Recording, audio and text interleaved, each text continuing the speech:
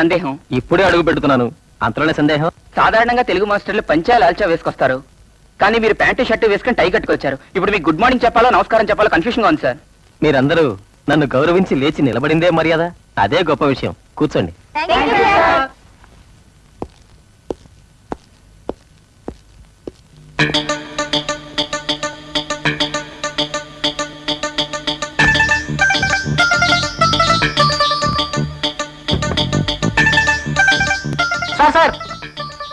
ఎందుకు సార్ అన్యాయంగా అనుమానిస్తున్నారు? ఓ తెలుగు బిడ్డనా మీరు అనుమానించేది మేము తల వంచుకోవాల్సి వస్తుంది సార్. అది కాదు నాయన. For every action there is an equal and opposite reaction ఇది న్యూటన్స్ లా. నేను చదువుకునే రోజుల్లో మా మాస్టర్లందరినీ పడరాని పాటలు పెట్టాను. అలా మీరు నాకు చేశారేమోనని ముందు జాగ్రత్త కోసం. దట్స్ ఆల్ సార్ చైర్ కింద పటాసులు పెట్టడం చైర్ కాలు కట్ చేయడం లాంటివి ఇప్పుడు ఎలిమెంటరీ స్కూల్లోనే మొదలు పెట్టారు సార్. మా లేవి లేవేరు సార్. ఎస్ సార్ అంటే పెద్ద ఎత్తున ఏమైనా చేశారా? చాచా మొదటి రోజే అలా చేస్తామా ధైర్యంగా కూర్చోండి. థ్యాంక్ యూ నా గురించి ఇది వరకే ప్రిన్సిపల్ గారు ప్రేయర్లో చెప్పారు. కనుక ఇక మీ పరిచయాలే కావాలి. ఒక్కొక్కరు లేచి మీ పేర్లు చెప్తే నేను మనసులోనే గుర్తుపెట్టుకుంటాను. బాబు నువ్వు స్టార్ట్ చేయి ప్రేమ్ దాస్ ప్రేమదాస్. ఆరంభమే బాగుంది. నెక్స్ట్ మీరే సార్. నేనా? మీ పేరే సార్. గోపాలకృష్ణ. అవును సార్. గుడ్ నాలాగే నువ్వు గొప్పవాడవుతావు. థ్యాంక్ యూ సార్ నెక్స్ట్ బాబు మార్నింగ్ సిట్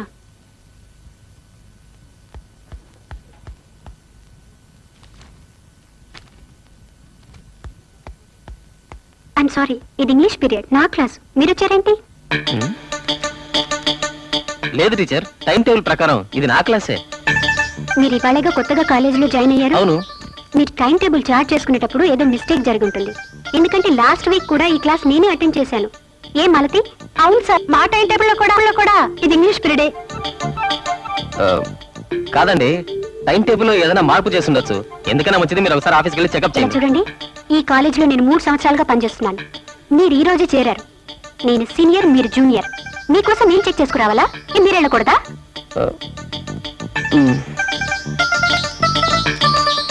మంది కరెక్ట్ గానే ఉన్నట్టుంది ప్లీజ్ నాకు టైం అవుతుంది. మీ పేరు? Priya. Sorry boys sorry girls sir మళ్ళీ మళ్ళీ చెప్తున్నాను. టైం టేబుల్ చార్ట్లో ఏ పొరపాటు లేదు. మీరు వెళ్ళిన క్లాసు కరెక్టే పీరియడ్ కరెక్టే. మరి ఇంకో మేడం ఎలా వస్తుందండి? రావడానికి వీల్లేదు సార్. అయ్యో ప్రియా అని ఒక మేడం వచ్చిందే. గోపాలకృష్ణ పేరేమన్నావు? ప్రియా. ప్రియా. గోపాలకృష్ణ ప్రియా కాలేజీ లెక్చరర్ కాదు. ఆ క్లాస్లో చదువుకునే స్టూడెంట్. శిరోన వాళ్ళ అమ్మాయి హాస్టల్లో ఉండి చదువుకుంటోంది. ప్రియా చదువులో పాటల్లో ఆటల్లో అన్నిట్లోనూ కాలేజీ నెంబర్ వన్. అలాగే అల్లర్లో కూడా నెంబర్ వన్.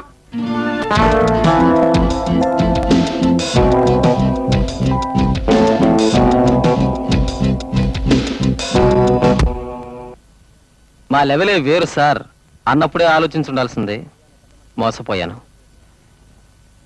ఎవరా ప్రియా అనే పెద్ద మనిషి? లేస్తే చూస్తా. Good morning and also sorry ఏయ్ లేచి నిలబడు. నీ మటు కూర్చునేలా? సారీ చెప్పినంత మాత్రం సరిపోతుందా? ఏ ఐడియాతో ఇలా చేశావు? చెప్పు. ఏ ఐడియాతో ఇలా చేశావు? To every action there is an equal and opposite reaction Newton's law నర్మాయ్ ఏమిటి? చాలా తెలివిగా మాట్లాడుతున్నా అనుకుంటున్నావా? ఆఫీసులో చెప్పారు. నువ్వు పాటల్లో చదువుల్లో ఆటల్లో అన్నిట్లోనూ ఫస్ట్ అని. కానీ డిసిప్లిన్లో ఇంత వరస్ట్గా ఉన్నావే? ఆ ఒక్కటి చాలు మిగతా క్వాలిఫికేషన్స్ నేలమట్టం చేయడానికి. లేదు సార్ ఈ రోజు మన క్లాస్కి కొత్త మాస్టర్ వస్తారు. ఏదో చిన్న అల్లరి చేద్దామని స్టూడెంట్స్ అంతా ప్లాన్ చేశారు. అందుకే ఇదే ఇదే ఇంగ్లీష్ వాడికి మనకి మన తేడా? ఇంగ్లీష్ వాడికి ముళ్ళు గుచ్చుకుంటే ఏమంటాడో తెలుసా? ఐ రైన్ ది థాన్ నేను ముళ్ళును తొక్కాను. నేను ముళ్ళు గుచ్చుకున్నాను అంటాడు. ఇదే మనవాడికి ఏమైందిరా అని అడిగితే సార్ ముళ్ళు వచ్చిన గుచ్చుకుంది సార్ అంటాడు. ఏమిటో ముళ్ళు వెతుకుంటూ వచ్చి గుచ్చుకున్నట్టు. అలాగే నువ్వు తప్పు చేసింది కాక మిగతా స్టూడెంట్స్ మీద తప్పు చెప్తావే? సార్ హార్ట్ టచ్ చేశారు సార్ ఏమిటి? ఎగతాడా కా సార్ ఉదాహరణ అంత అందంగా ఉంది. అందుకే ఓపెన్గా చెప్పేశాను. కదా బాయ్స్ ఆదర్శ బామ్మ. థ్యాంక్ యూ నీ పేరేమిటి? నా పేరు రాజా సార్ నీ సంగతి తర్వాత చూసుకుంటాను. మాతా పిత గురు దైవం అనే వరుసలో నన్ను పెట్టారే. అటువంటప్పుడు ఆ గురువు అనే స్థానానికి ఎంత అంతస్తు ఇవ్వాలి? ఎంత మర్యాద ఇవ్వాలో మీకు తెలుసా అసలు? ఒరే గోపాలకృష్ణ ఒరే గోపాలకృష్ణ బాగున్నావా? నిన్ను చూసి ఎన్నేళ్ళైందిరా ఒరే గోపాలకృష్ణ ఎవరో కొత్త లెచ్చలర్ వస్తున్నారన్నారే నువ్వేనా? నాతో చదువుకున్న నువ్వు నాకే లెక్చరర్గా రావడం ఎంతో గర్వంగా ఉందిరా. ఏ ప్రియా వీడు నేను కలిసి చదువుకున్నాం. నువ్వే పర్వాలేదురా ఎలాగో చదువుకుని లెచ్చలర్ అయిపోయావు. నేను చూడు ఒక్కో క్లాస్ లోను మూడే సైడ్లు కూర్చుని ఇప్పుడే ఇంటర్మీడియట్కి వచ్చాను. నాకు చదువు వచ్చేట్లేదు మా నాన్న వదిలేట్లేదు ఏ ప్రియా నేను వీడు. రే, వండ్రారే నేను వీడు చదువుకునే రోజుల్లో వీడు ఏం చేసేవాడో తెలుసా? ఆడపిల్లలు బాత్రూంలో దూరి బొమ్మలు గీసేవాడు. అందుకు లెక్చరర్ గారు ఎలా పెడా వాయించేసేవారు. ఎరా గోపాలకృష్ణ ఇవన్నీ కూడా మర్చిపోయావట్రా. చూడు ఏడకొండలు నేను ఇప్పుడు లెక్చరర్ని నువ్వు స్టూడెంట్వి. రారా పోరా అనకూడదు. ఏంట్రా మన ఇద్దరం ప్రాణం ప్రాణంగా పెరిగాం కావచ్చు అవన్నీ సాయంత్రం కాలేజ్ అయిపోయాక ఆరు గంటలకు పెట్టుకుందాం. ఏంట్రా అలా అంట ఇలా చూడు నా కోపం వస్తుంది. నువ్వు ముందు యూనిఫామ్ కరెక్ట్ వేసుకో. వెళ్ళి ఆ బుక్స్ తీసుకురా. పోరా. ఎందుకన్నావు? మేమిద్దరం కలిసి చదువుకున్నాం. నేను ఇదే కాలేజీకి లెక్చరర్గా వచ్చాను వాడు ఇంకా ఇక్కడే కూర్చున్నాడు. ఇది ఆలోచించాల్సిన విషయం నవ్వాల్సిన విషయం కాదు. కూర్చో. పో పోనీ సీట్లోకి వెళ్ళి కూర్చో. స్కూల్ బయట ఉన్న బడ్డీ కొట్లో ఐదు రూపాయలు జీళ్ళు అప్పు చేసి తినేసి తీర్చకుండానే వెళ్ళిపోయావు. ఆఖరికి నేనే తీర్చుకున్నాను. ఇదంతా విశ్వాసం ఉన్నవాడికైతే గుర్తుంటుంది. చైతీరా ఇంత పెద్ద ఆకారం వస్తుంటే కనపట్టలేదు. మావా శాంతించు మావా శాంతించు. పుస్తకం అమ్మా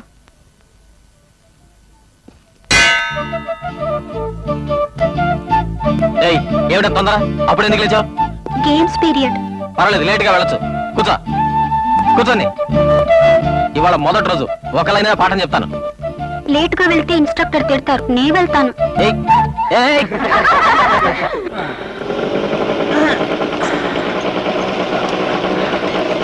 అన్యాయమే. నేను వచ్చిన లెక్చర్ని ముప్పు దిప్పులు పెట్టావు. ఎందుకో తెలియదే ఆయన చూస్తేనే అల్లరి చేయాలని. ముసలైనా దించు కిందకి దించు. ఇలా రా. ఆ. ఎత్తు వరకు నేను లాక్కొస్తాను. వద్దులేండి అయ్యా. వెనక నుంచి నెట్టండి చాలు. అరే నువ్వు ఉండు నేను చెప్తాను. అరే ఉండమండి నువ్వు ఉండు నువ్వు చూస్తూ వద్దులేండి. నువ్వేం మాట్లాడకుండా అలా చూస్తూ ఉండు. ఇప్పుడు చూడు ఎలా తోసుకొస్తాను. ఏ,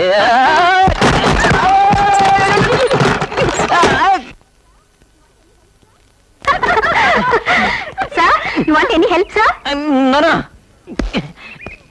ఏయ్ మీ కాలేజీ లేకపోతే ఇంట్లోనో హాస్టల్లోనో కూర్చుని ఏదో ఒక పాఠం చదువుకోకుండా ఎందుకు ఇలా రోడ్ల వెంబడి తిరుగుతున్నారు? పండి పండి.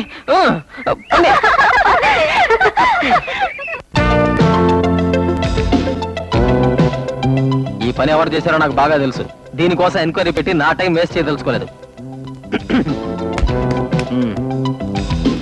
పుస్తకం ఇవ్వమ్మా. ఇదిగోండి సార్. నీ పుస్తకం అక్కర్లేదు. నువ్వు ఇవ్వమ్మా. ఎందుకు సార్ వద్దు? నేనేమన్నా అంటారని దాన్నా? నాకు అవసరం లేదు. ఇవ్వు. నువ్వు ఉండవే ఎందుకు సార్ అందరి ముందు ఇన్సల్ట్ చేస్తారు? నాకు కారణం చెప్పే తీరాలి. నీ కారణం చెప్పాల్సిన అవసరం నాకు లేదు. గోపాలకృష్ణ సార్ నిన్న పుస్తకం తెరిచారు గంట కొట్టారు. ఈ రోజైనా రావడంతో పాఠం మొదలు పెడతారనుకుంటే వస్తూనే ప్రియతో గొడవ దిగారు. ఎప్పుడు సార్ పాఠం చెప్పేది? సరే. తమరు కూర్చోండి. థ్యాంక్స్ స్త్రీ. స్త్రీ గురించి ఒక ముఖ్యమైన విషయం ఉంది. ఒక స్త్రీ ఎప్పుడు పరిపూర్ణ స్త్రీ అవుతుంది? వినడానికి ఇది చాలా తెలివి తక్కువ ప్రశ్న అనిపిస్తుంది. కానీ నిజానికి ఇది చాలా అర్థవంతమైన ప్రశ్న. పుట్టిన వెంటనే ఆడది స్త్రీ కాదు. స్త్రీత్వానికి కొన్ని మార్కులున్నాయి. ఎలా అంటే ఆడపిల్లగా పుట్టగానే ఇరవై ఐదు మార్కులు తెచ్చుకుంటుంది. ఆ తర్వాత పుష్పవతి కాగానే యాభై మార్కులు తెచ్చుకుంటుంది. పెళ్ళి చేసుకుని భార్యస్థానం పొందాక డెబ్బై ఐదు మార్కులు తెచ్చుకుంటుంది. బిడ్డను కని తల్లైనప్పుడే నూటికి నూరు మార్కులు తెచ్చుకుని పరిపూర్ణత చెందుతుంది. అప్పుడే పరి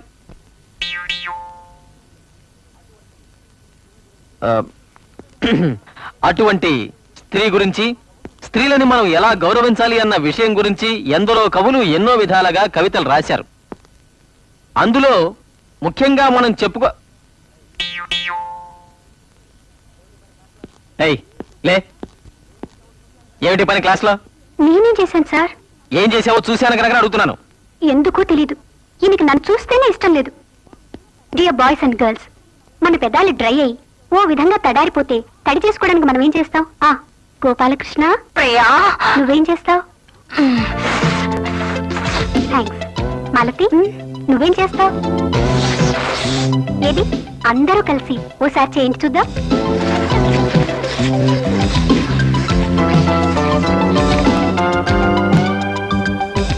ఏం సార్?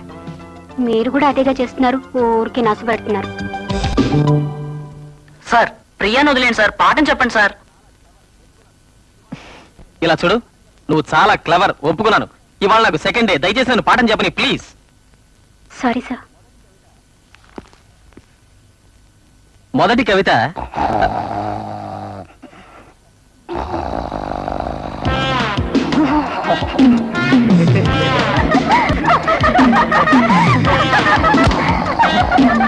మావా ఓ ఏంటి మావా పుస్తకాలతో బయలుదేరావు? మధ్యాహ్నం కట్ట? అవును.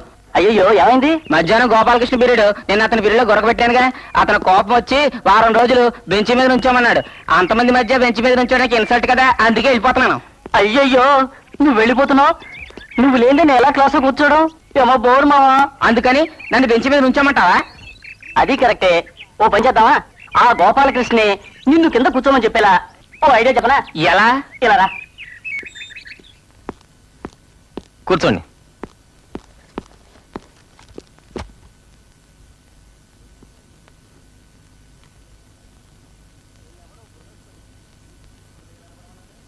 నిన్నెవరో బృహస్పతిని బెంచ్ మీద నిలబడమన్నానే.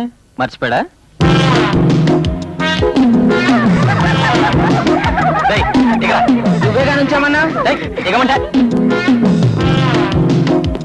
ఇలా రారా.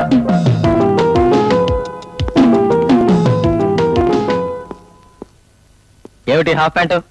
గేమ్స్ పీరియడ్ కోసం వేసుకున్నాను. మిగతా వాళ్ళంతా ఫుల్ ప్యాంట్స్ వేసుకొచ్చారే నువ్వేవాడి స్పెషల్? నా సౌకర్యం కోసం నేను వేసుకున్నాను. అలాగా? నా సౌకర్యానికి నువ్వు బయటికి వెళ్ళుంచో గోపాలకృష్ణ! పోరా. పోరా అంటే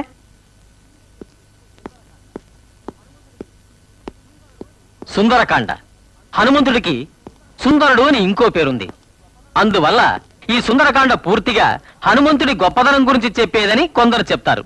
అది కాదు రాముడు సుందర స్వరూపి సుందర వదనుడు అందువల్ల రాముడి గొప్పదనం గురించి చెప్పేదే సుందరకాండ అని ఇంకొందరు చెప్తారు. నువ్వేం చెప్తావు గోపాలకృష్ణ?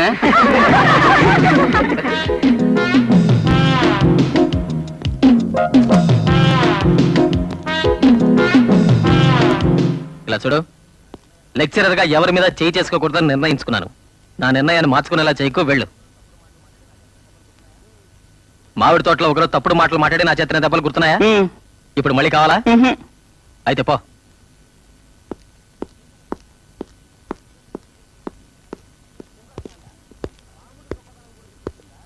సుందరకాండ రాముడి గొప్పదనం గురించి చెప్పిందా? లేక హనుమంతుడి గొప్పదనం గురించి చెప్పిందా అనేది వివాదాస్పదమైన విషయం అయినా కూడా ఉన్న కాండలన్నిటిలోనూ సుందరకాండే చాలా గొప్పదన్నది అందరూ అంగీకరించిన నగ్న సత్యం. అందు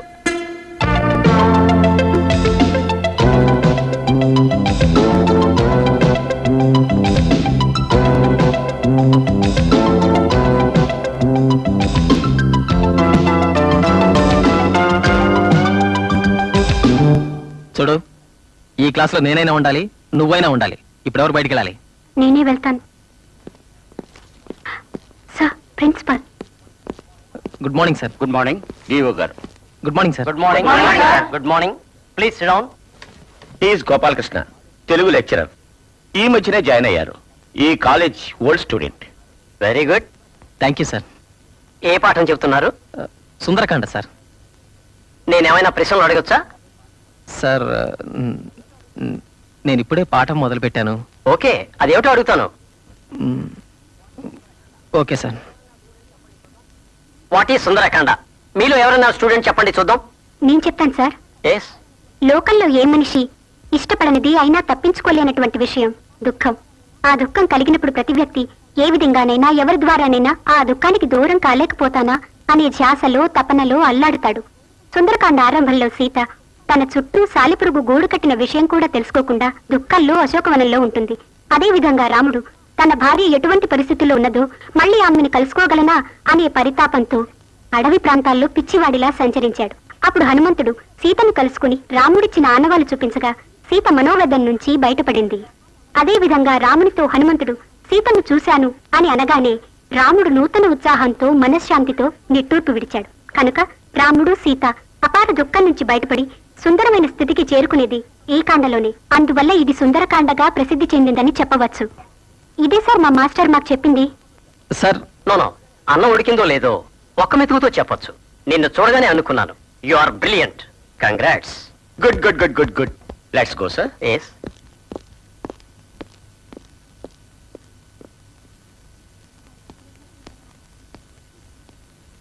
బయటికి వెళ్ళే తీరాలా? ఇవే ఈ సమ్ చెప్పవా? కల్పన. ఏ కల్పన? ఏమిటి? ఈ రోజు జామెట్రీ బాక్స్ మర్చిపోయాను. లెక్చరర్ తిడతారు. నీ జామెట్రీ బాక్స్ ఇవ్వవా? తెస్తానుండు. ఏమిటి ప్రియా? నువ్వు ఈ క్లాస్లో లేకపోవడమే పెద్ద లోటు. ఎప్పుడో ఒకసారి వచ్చి దర్శనమిస్తావు అది పూర్తిగా ఇవ్వకూడదా? కిటికీ దగ్గరే నుంచున్నావే. లోనికి రా ప్రియా. రా ప్రియా రా. Okay.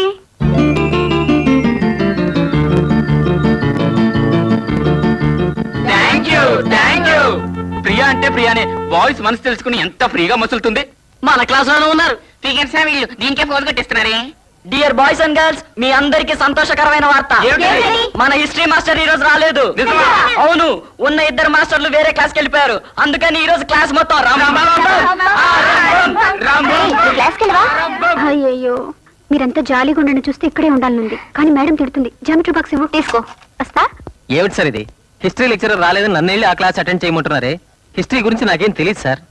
గోపాలకృష్ణ ఆ క్లాస్కి మాస్టర్ వెళ్ళకపోతే పిల్లలు గొడవ చేసి పక్క క్లాస్ కూడా జరగనివ్వరు. హిస్టరీ గురించి తెలియకపోయినా జనరల్ నాలెడ్జ్ గురించి ఏదో ఒకటి చెప్పండి.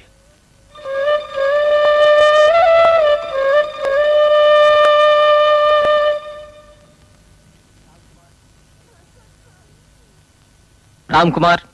సార్. సవిత. ఆజాద్. వచ్చాను సార్. భానుమతి. ఉన్నాను సార్. ఏమైంది? అందరూ ఏదో ఉసూరుమంటూ చెప్తున్నారు. ఏమిటి విషయం? మా మాస్టర్ రాలేదు. ఓ గంట సేపు జాలీగా ఉందాం అనుకున్నాం. ఇలా మీరు వచ్చి మా ప్రాణాలు తీసేస్తారు అనుకోలేదే?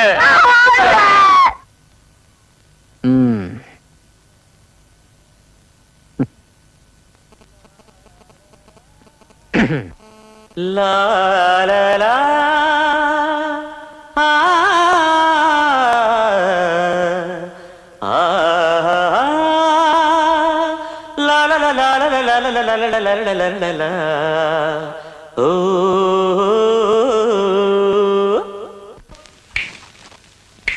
Come on, students, join with me. Thank you. Thank you, sir.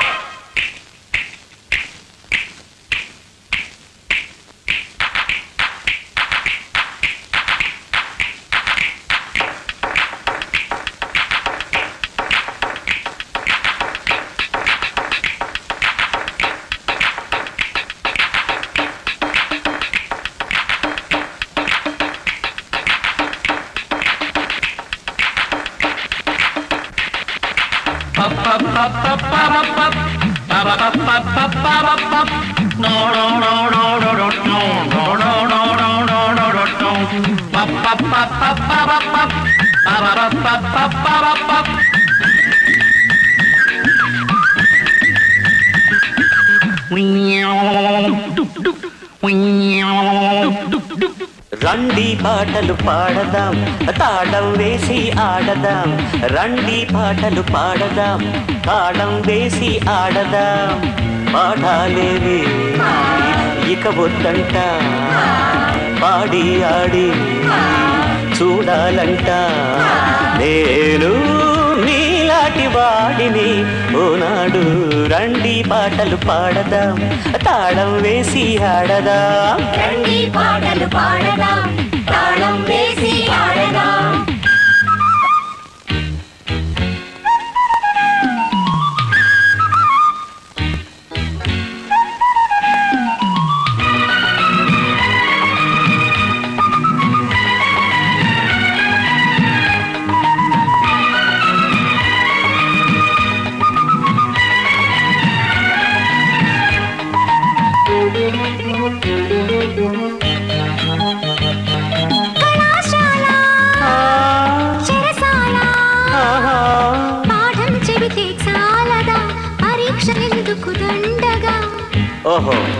మనసులో పరీక్షల గురించి అటువంటి ఉద్దేశం ఉందా?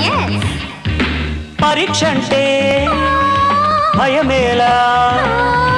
వెలిగిస్తేనే జ్యోతిని వెలుగన్నది తను వెదజల్లుని.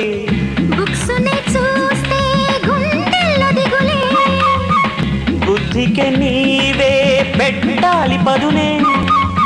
పాఠం బరువు ప్రాయం బరువు.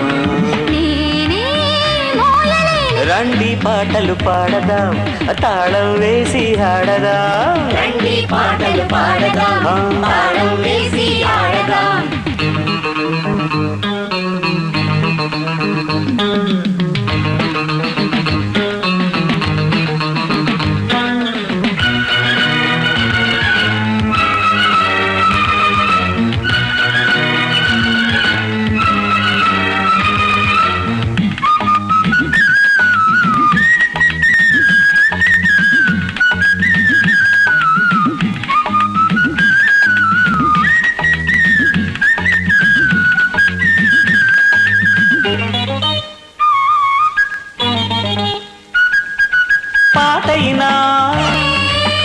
మనమైనా జ్ఞానం ఆర్జించాలి రేపటి పౌరులు మీరులే.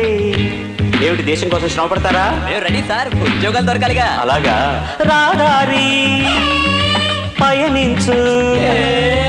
ధర్మాన్ని నువ్వు తప్పకు న్యాయాన్ని విడనాడకు. యవ్వన ప్రాయం సరదాలు కోరు.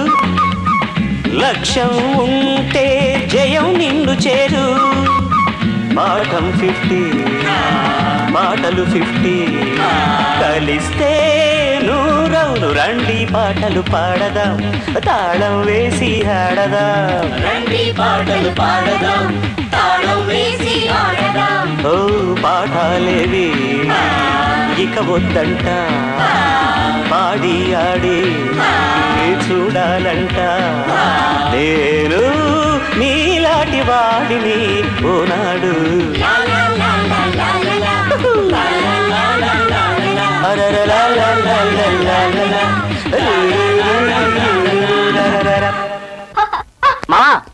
ఏంటిది?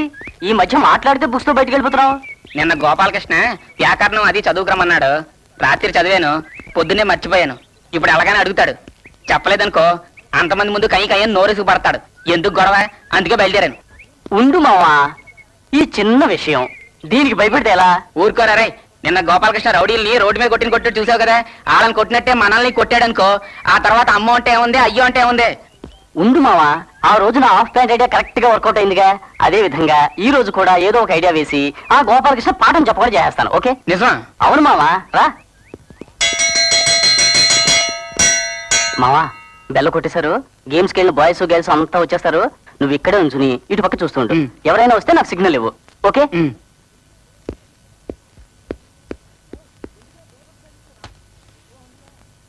ఎందుకురా ప్రియ పుస్తకాలు తీస్తున్నా? విషయం ఉందిలే. కూర్చోండి. తీసుకోండి సార్. పెట్టు. ఏం సార్ ఈరోజు టై కట్టుకోలేదు? నేను టై కట్టుకోకపోతే దేశానికి ఏమైనా నష్టమా? ఏం లేదు టై కట్టుకుంటే ఇంకొంచెం స్మార్ట్గా ఉంటారు. అందుకే చెప్పా.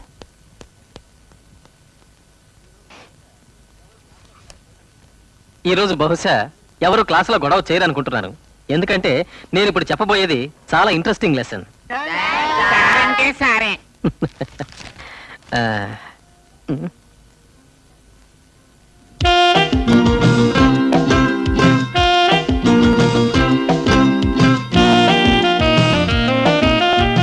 ఎరా పుస్తకంలో బాంబే ఏదైనా పెట్టావా?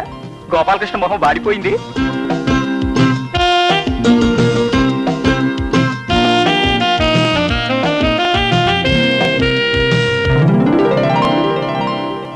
ఏం సార్? చాలా ఇంట్రెస్టింగ్ పాఠం చెప్తా అన్నారు భగవద్గీతలో గజేంద్ర మోక్షమా? కాదురా అది పాత పాఠం.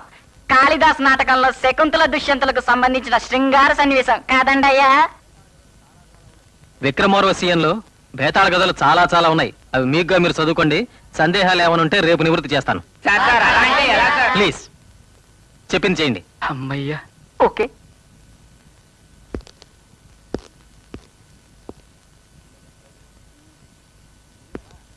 నువ్వు కాస్త బయటికి రా. నేనా? నిన్నేరా? మిత్రులారా ఇప్పుడు ప్రియాకి సపరేట్గా పాఠం చెప్తారు. ఆ తర్వాత ప్రియా మనకి పాఠం చెప్తుంది. చూడు.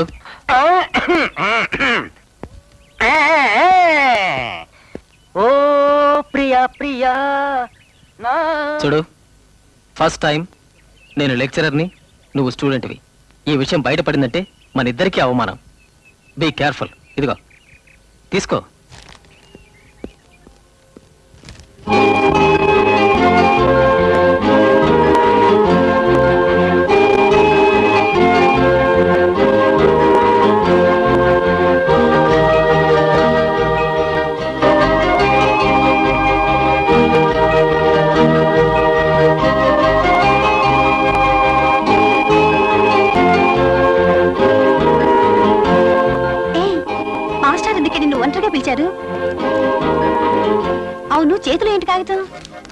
అదేం కాగితం? మాస్టర్ ఇచ్చారు. మాస్టారా? I love you. నిజంగా కళ్ళద్దాలు ఎంత పని చేశాడా? నేను నమ్మలేకపోతున్నాడే నేను మాత్రం నమ్మగలుగుతున్నానా ఏంటి? ఇప్పుడు నువ్వేం చేస్తావు? రిప్లై ఇస్తావా? చెప్పవే. ఇది కొంచెం గమ్మత్తైన విషయం. ఆలోచించి నిర్ణయం తీసుకోవాలి. కూర్చోండి. ఇదిగోండి సార్. ఇక మీద నీ పుస్తకం తీసుకునే అవసరం నాకు లేదు. నేనే పుస్తకం కొని తెచ్చుకున్నాను. పోయి కూర్చో. ఓ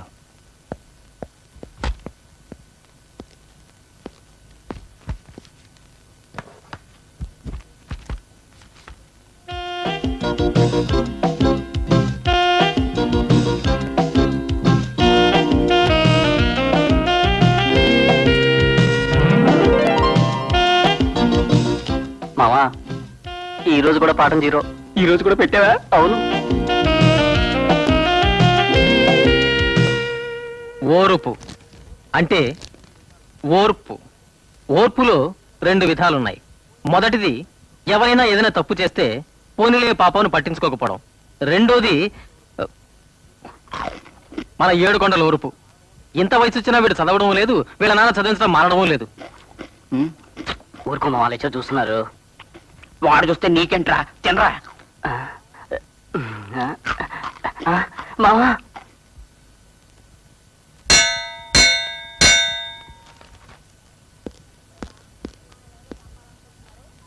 ప్రియా ఆయన ఏదో చెప్పాలనుకుంటున్నారు. అదేమిటో అడిగిరామ్మా ఓయ్ ఆయనతో వేళ కావాలా? రవి చేతి. కూర్చోండి. ఆ, నువ్వు రా ప్రియా.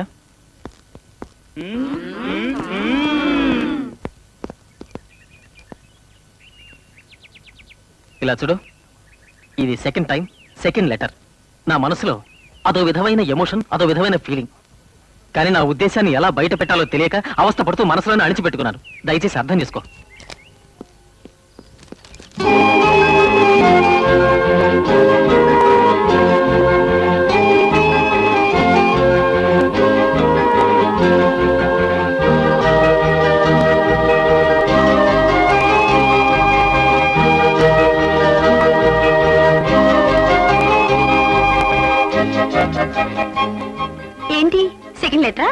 పర్వాలేదు. కళ్ళద్దాలు మంచి స్పీడ్లో ఉన్నాడే.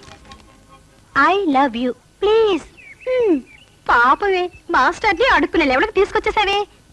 ఇలా చూడు నీకు ఇష్టం లేకపోతే ఇష్టం లేదని చెప్పే. అట్లీస్ట్ నాకైనా ఒక అవకాశం వస్తుంది కదా. ఇలా చూడు నేను బదులు రాయలేదు. అంతే. అలా నాకు ఇష్టం లేదని అర్థం కాదు. ఇక మీద నా పక్కన కూర్చోకు. అంతే. ఏ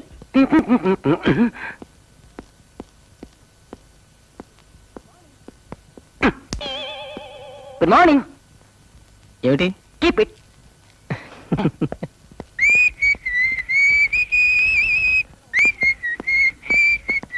లెక్చరర్గా ఉంటే మాత్రం సరిపోదు!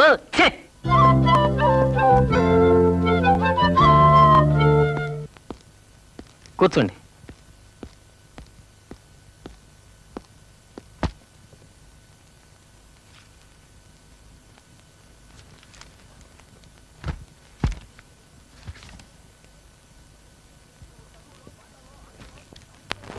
నువ్వు చదువులో పాటల్లో ఆటల్లో అన్నిట్లోనూ గొప్పదానివని నువ్వెన్ని గొడవలు చేసినా ఓర్చుకున్నాను. కానీ గొడవ చేయడానికి కూడా ఒక లిమిట్ అంటూ ఉంది. ఈ మనిషి నీకు రెండు సార్లు వార్నింగ్ ఇచ్చిన మూడోసారి లవ్ లెటర్ రాశావంటే నీకెంత గుండె ధైర్యం ఉండాలి. ఇదే ఎవరైనా తప్పుడు మనిషి ఉంటే ఈ పాటికి అక్కడికి రా ఇక్కడికి రా అని పిలిచి తప్పు చేసి ఉండేవాడు. గోపాలకృష్ణ పెద్ద మనిషి. అందుకే ఫ్రాంక్గా నా దగ్గరకు వచ్చి కంప్లైంట్ ఇచ్చాడు. నీ వయసు తగిన పనులు నన్ను కొంచెం మాట్లాడిస్తారా? నువ్వేం మాట్లాడక్కర్లేదు. ఏం సార్ అర్థం లేకుండా మాట్లాడతారు? వన్ సైడ్ కంప్లైంట్ మీరు మాట్లాడుతున్నారే నా సైడ్ స్టేట్మెంట్ ఏంటో ఒకసారైనా విన్నారా మీరు? ఇదిగో లెటర్ ఏం సార్ ఊరికి లెటర్ లెటర్ అంటారు? అది ఎవరు రాశారు ఎందుకు రాశారు తెలుసా మీకు? ఎవరు రాశారు ఎందుకు రాశారు?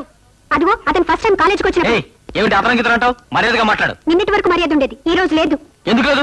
ఉండు విషయం చెప్పమ్మా. అదే అతను మొదటిసారిగా లెక్చరర్గా కాలేజ్కి వచ్చినప్పుడు నేను సరదాగా మేడం గా యాక్ట్ చేసి గొడవ చేశాను. అది మనసులో పెట్టుకుని నన్ను అవమానించాలని ఇతనే లెటర్ రాసి ఇతనే కంప్లైంట్ ఇచ్చాడు. నేను ఆ లెటర్ రాశాను. కొంచెమైనా మనస్సాక్షి ఉందా నీకు? ఆ? మనస్సాక్షి గురించి మీరు మాట్లాడుతున్నారా? ఆవావావా. మొట్టమొదటిసారి లెటర్ ఇచ్చినప్పుడు ఏమన్నారు? ఫస్ట్ టైం బయటికి తెలిస్తే ఇద్దరికి అవమానం అనలేదు అది నీ పరువు పోకూడదనే సదుద్దేశంతో అన్నాను. ఓహో! రెండో లెటర్లో ఐ లవ్ యూ ప్లీజ్ అని రాసి ఏమన్నారు?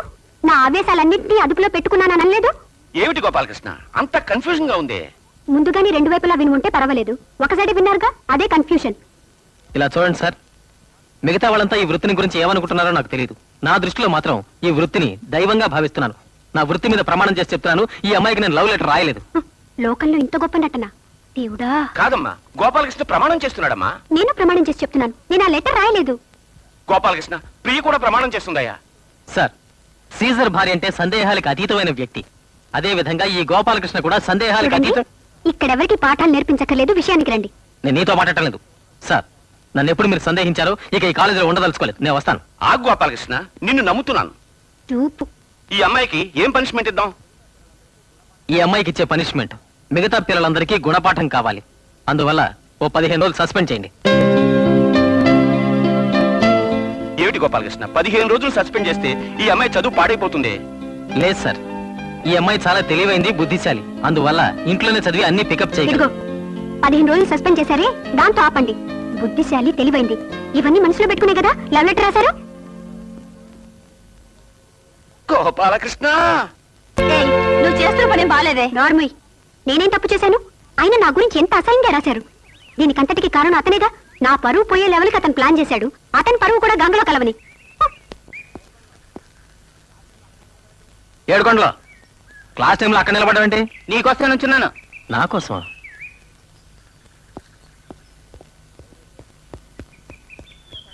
ఏమిటి విషయం? నువ్వు తప్పు చేసావు. నేనేం తప్పు చేశాను? ప్రియ నీకేం లవ్ లెటర్ రాయలేదు. నా కూడా తిరుగుతుంటాడే గొట్టంగాడు. వాడు రాసి ప్రియ పుస్తకంలో పెట్టేశాడు. నిజంగానా? మరి నీ పర్సనాలిటీకి ప్రియ లవ్ లెటర్ రాసింది అనుకున్నావా నా పర్సనాలిటీ గురించి మాట్లాడుకో. అసలు ఏం జరిగిందో చెప్పు. నా చదువు మీద ఒట్టేసి చెప్తున్నాను కానీ నువ్వు నమ్మవు. నా నెత్తి మీద చేసి చెప్తున్నాను ప్రియ ఏ లెటర్ రాయలేదు. నా కూడా తిరుగుతుంటాడే అంతా వాడే రాశాడు. పాపం గోపాలకృష్ణ మాస్టారు. ఆయన ఏ తప్పు చేయలేదు. ఎవడో కొంటి కొరాడు చేసిన పనికి రెండు రోజులుగా ఆయన నానా తిట్లు తిట్టావు కదే. ఇప్పుడు ఏం చేద్దాం అనుకుంటున్నావు?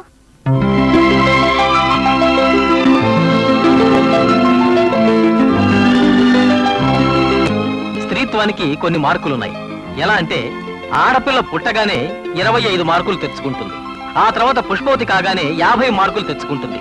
పెళ్ళి చేసుకుని భార్యస్థానం పొందాక డెబ్బై ఐదు మార్కులు తెచ్చుకుంటుంది. ఏమిటి ఆలోచిస్తున్నావు?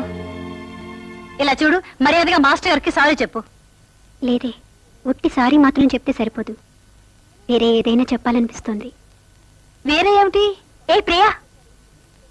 మాస్టర్ గారు నీ కోసం హాస్టల్కి వచ్చారు. నువ్వు ఇక్కడ ఉన్నావని చెప్పాను. అదిగో వస్తున్నారు.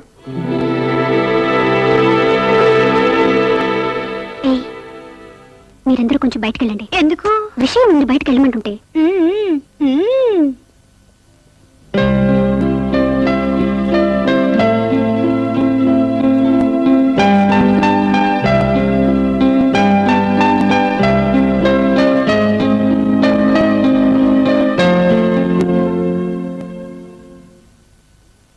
నన్ను క్షమించు ప్రియా. ఇంగ్లీష్లో ఒక అందమైన సామెత ఉంది. It's easy to pull down than to build up అని. అంతం చేయడం సులభం అభివృద్ధి చేయడం కష్టం. తొందరపడి నీ మీద కంప్లైంట్ ఇచ్చి నీకెంత చెడ్డ పేరు తెచ్చానో నాకు ఇప్పుడు తెలిసింది. కానీ ఇప్పుడు ఎలా సరిదిద్దుకోవాలో నాకు తెలియటం లేదు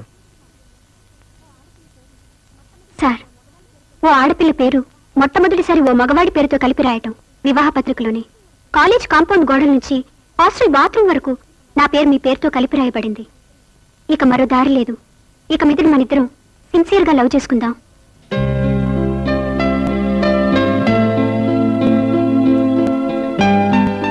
ఏమిటి ఐ లవ్ యూ సార్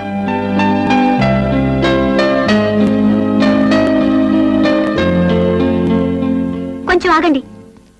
ఏంటి సార్ బదులు చెప్పకుండా వెళ్తున్నారు? చూడు నేను నీకు పాఠాలు చెప్పే గురువుని లెక్చరర్ని. నాతో ఇలా మాట్లాడమే తప్పు. తప్పే. అయినా ఏమిటో తెలీదు. ఇప్పుడే కాసేపటికి ముందే నాకు ఈ అభిప్రాయం కలిగింది. మీరు చెప్పారే రామాయణంలో స్వారస్యమైన ఘట్టం సుందరకాండాన్ని. నా జీవితం కూడా ఓ బుల్లి రామాయణం లాంటిది. ఇంతవరకు అందులో ఏ స్వారస్యమూ లేదు.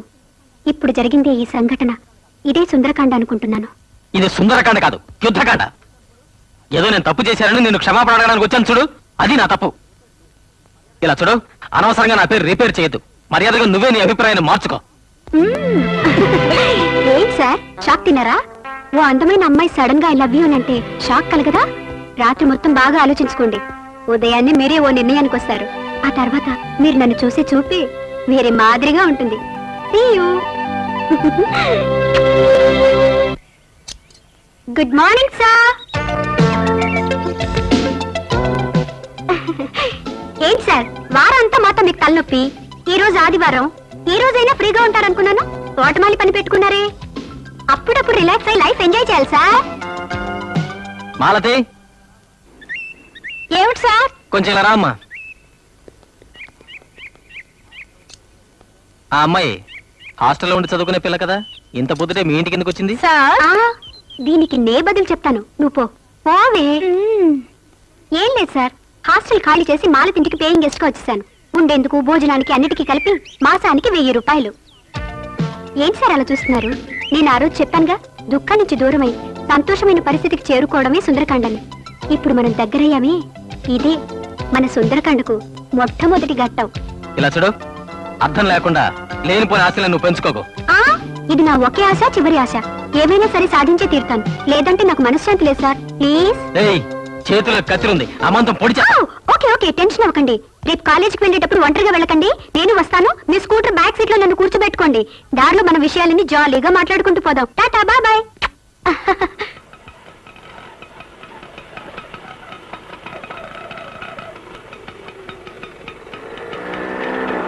నమస్కారం. నమస్కారం సార్. నువ్వు లోపలికి వెళ్ళమ్మా. మీరు పదిన్నరకలా వస్తారనుకున్నాను. అదా పాప రెడీ అవడానికి కొంచెం లేట్ అయింది. ఆ, లోపలికి రండి. ఆ, పర్వాలేదు నేను ఇక్కడే కూర్చుంటాను.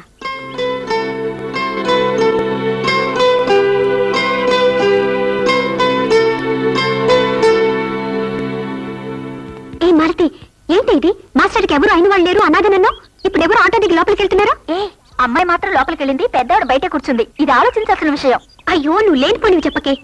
ఏ మాలతి ఏంటి విషయం? అది ప్రతి ఆదివారం ఒక ఆటో వచ్చి ఆగుతుంది. పెద్ద ఆవిడ ఆవిడే కానీ అమ్మాయిలు మాత్రం మారుతూనే ఉంటారు. ఆ పెద్ద ఆవిడ గుమ్మలోనే కూర్చుంటుంది. అమ్మాయిలు మాత్రం లోపలికి వెళ్తుంది పదిహేను నిమిషాలు ఒక్కోసారి అరగంట కూడా పడుతుంది. విషయం ఏమిటో నాకు అర్థం కావడం లేదు. నీకేమైనా అర్థమైందా? నాకు మాత్రం బాగా అర్థమైంది. ఎందుకే అందరు నన్ను భయపెడతారు? ఏ లోపల ఏం జరుగుతుందో చూడాలి. మార్గం ఏదైనా ఉందా? ఉందే మాస్టర్ బెడ్రూమే కనపడుతుంది. కంగారు పడికే. పంచముఖాల దీపం సెమ్మె అంటే ఒక్కొక్క ఒత్తి ఉండే చోటు ఒక్కొక్క ముఖం. అందుకే అది పంచముఖాల దీపపు సెమ్మె. ఒక ఆడపిల్ల పెళ్ళై మొట్టమొదటిసారి మెట్టినింట్లో అడుగు పెట్టేటప్పుడు ఆ ఐదు ముఖాలున్న దీపపు సెమ్మని వెలిగించమంటారు. అది ఎందుకో నీకు తెలుసా? అలా వెలిగించి దేవుణ్ణి ప్రార్థిస్తే శుభం కలుగుతుందంటారు. అదే నాకు తెలుసు. అది కాదమ్మా.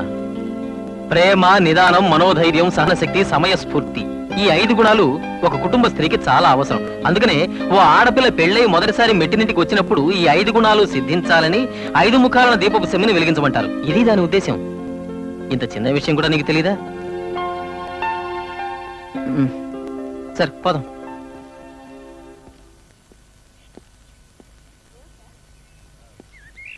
ఏమిటి సార్? ఆ, తప్పుగా అనుకోకండి అంత తృప్తిగా లేదు. ఇందులో తప్పుగా అనుకోవడానికి ఏముంది సార్? మీరు చిన్నతనంలోనే తల్లిదండ్రులు పోగొట్టుకుని అనాథలైనారు. అందువల్ల ఒక అనాథ పిల్లని పెళ్ళి చేసుకోవాలని జీవిత లక్ష్యంగా పెట్టుకున్నారు. ఎంత అనాథ పిల్లని చేసుకోవాలనుకున్నా మీ అభిరుచి తగ్గట్టు ఉండాలి కదా. మీకు నచ్చాలి కదా. అందుకనే ఒక్కొక్క వారం ఒక్కొక్క అమ్మాయిని పరీక్షిస్తున్నారు. మీకు ఏ అమ్మాయి నచ్చలేదు. ఇందులో తప్పే ఉంది సార్. మా ఆశ్రమంలో మూడు వందల మంది పైగా అమ్మాయిలు ఉన్నారు ఒక్కొక్క వారం ఒక్కొక్క అమ్మాయిని తీసుకొస్తాను. అందులో ఏ అమ్మాయి నచ్చితే ఆ అమ్మాయినే చేసుకోండి. మీరు ఏ అమ్మాయిని చేసుకున్నా నా కన్న బిడ్డని చేసుకున్నట్టే. చాలా థ్యాంక్స్ తీసుకోండి. వస్తాను సార్.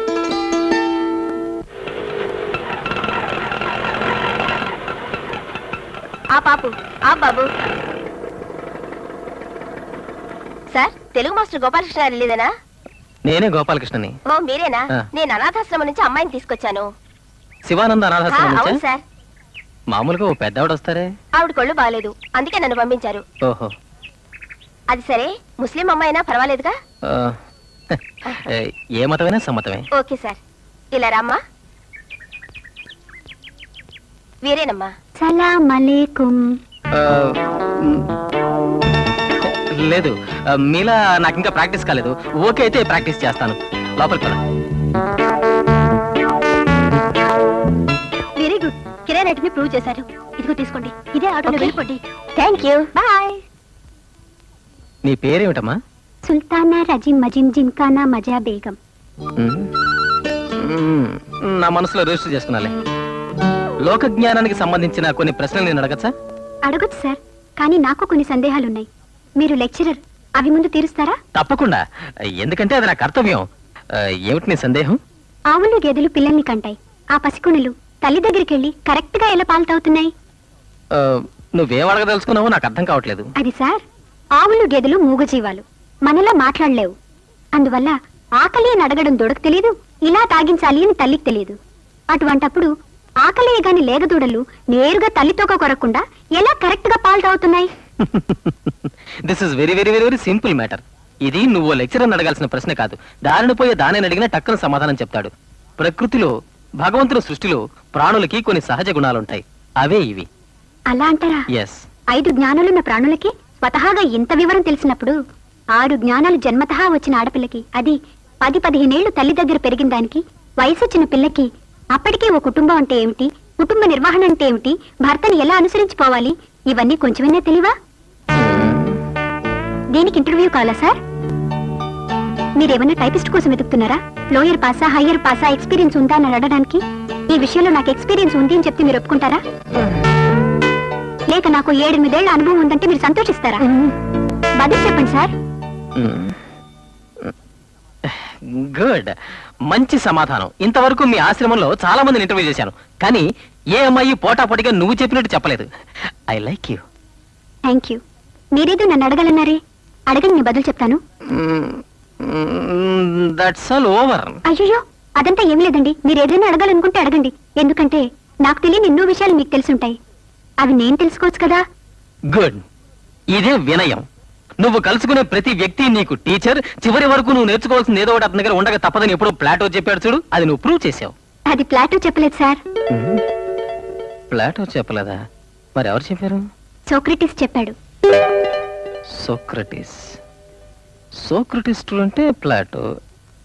అందువల్ల చిన్న confusion but it's all right నేను అడగాలనుకున్నా అడగచ్చా? ఆడపిల్ల. మొట్టమొదటిసారి మెట్టినింటి అడుగు పెట్టినప్పుడు ఐదు ముఖాలన దీపం చెమ్మని వెలిగించమంటారు. అందులో ఉన్న తత్వం తాత్పర్యం ఏమిటో చెప్పు చూద్దాం.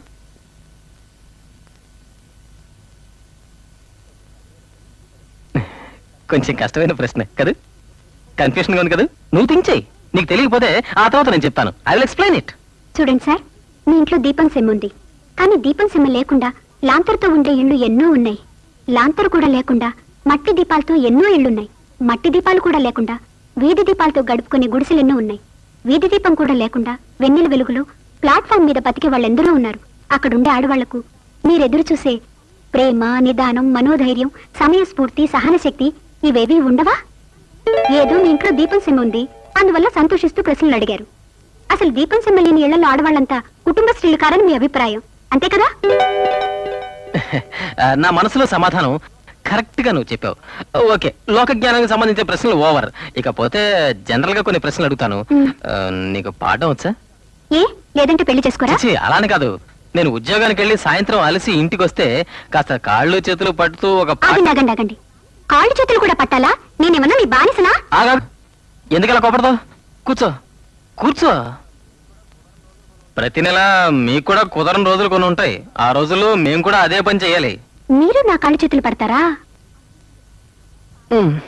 అయితే సరే పాడడం వచ్చు. ఏది? ఓ పాట పాడు చూద్దాం. నీ వయసుకు సరిపోయేదా నా వయసుకు సరిపోయేదా? అదేమిటి పాటలో నా వయసు నీ వయసు? సరే నా వయసుకు తగ్గట్టు పాడు. జయ కృష్ణ ముకుంద మురారి. ఏమిటి పాతకాల పాట పాడుతున్నావు? నాకేమన్నా అంత వయసు అయిపోయిందా? మీరు లెక్చరర్గా పనిచేస్తున్నారు కదా. నా ఉద్యోగం లెక్చరర్ ఉద్యోగం కావచ్చు but I'm still young chap. ఎందుకు వచ్చిన గొడవ? సరే సరే నీ వయసుకే పాడు. నా వయసుకైతే ఓ మాదిరిగా ఉంటుంది. పర్వాలేదా? పర్వాలేదు. ఒక మంచు కురిసే పర్వతం. అక్కడ ఓ పదిహేను ఇరవై మంది కన్నె పిల్లలు పదిహేను ఇరవై మంది. మధ్యలో నేను వస్తాను. వచ్చి.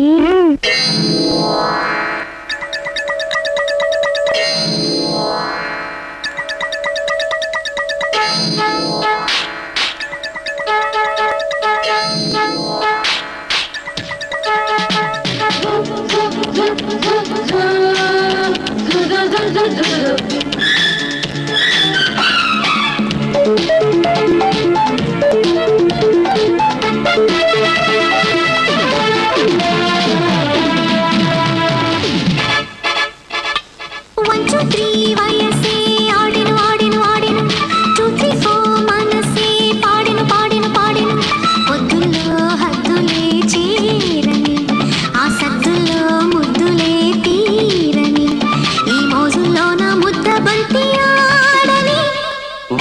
త్రీ వయసే ఆడిను ఆడిను ఆడిను. టూ త్రీ ఫోర్ మనసే పాడిను పాడిను పాడిను. పొత్తుల్లో అతులే చేరని ఆ సత్తుల్లో ముత్తులే తీరని. ఈ మోజుల్లోన ముద్ద బంతి ఆడని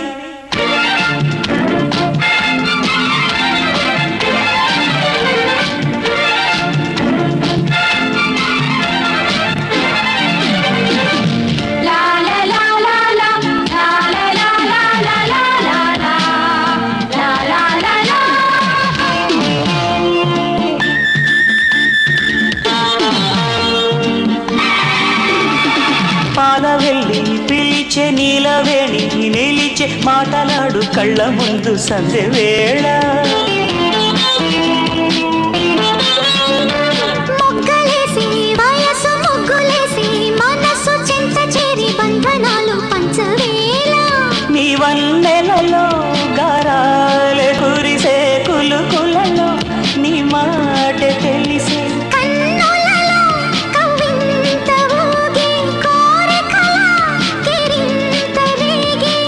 హత్తుకో హత్తుకో ఘాటుగా.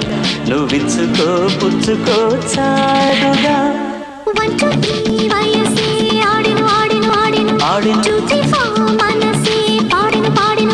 పాడిను పొద్దుల్లో హద్దులే చేరని ఆ సద్దుల్లో ముద్దులే తీరని ఈ మోజుల్లో నా ముద్ద బంతి ఆడని.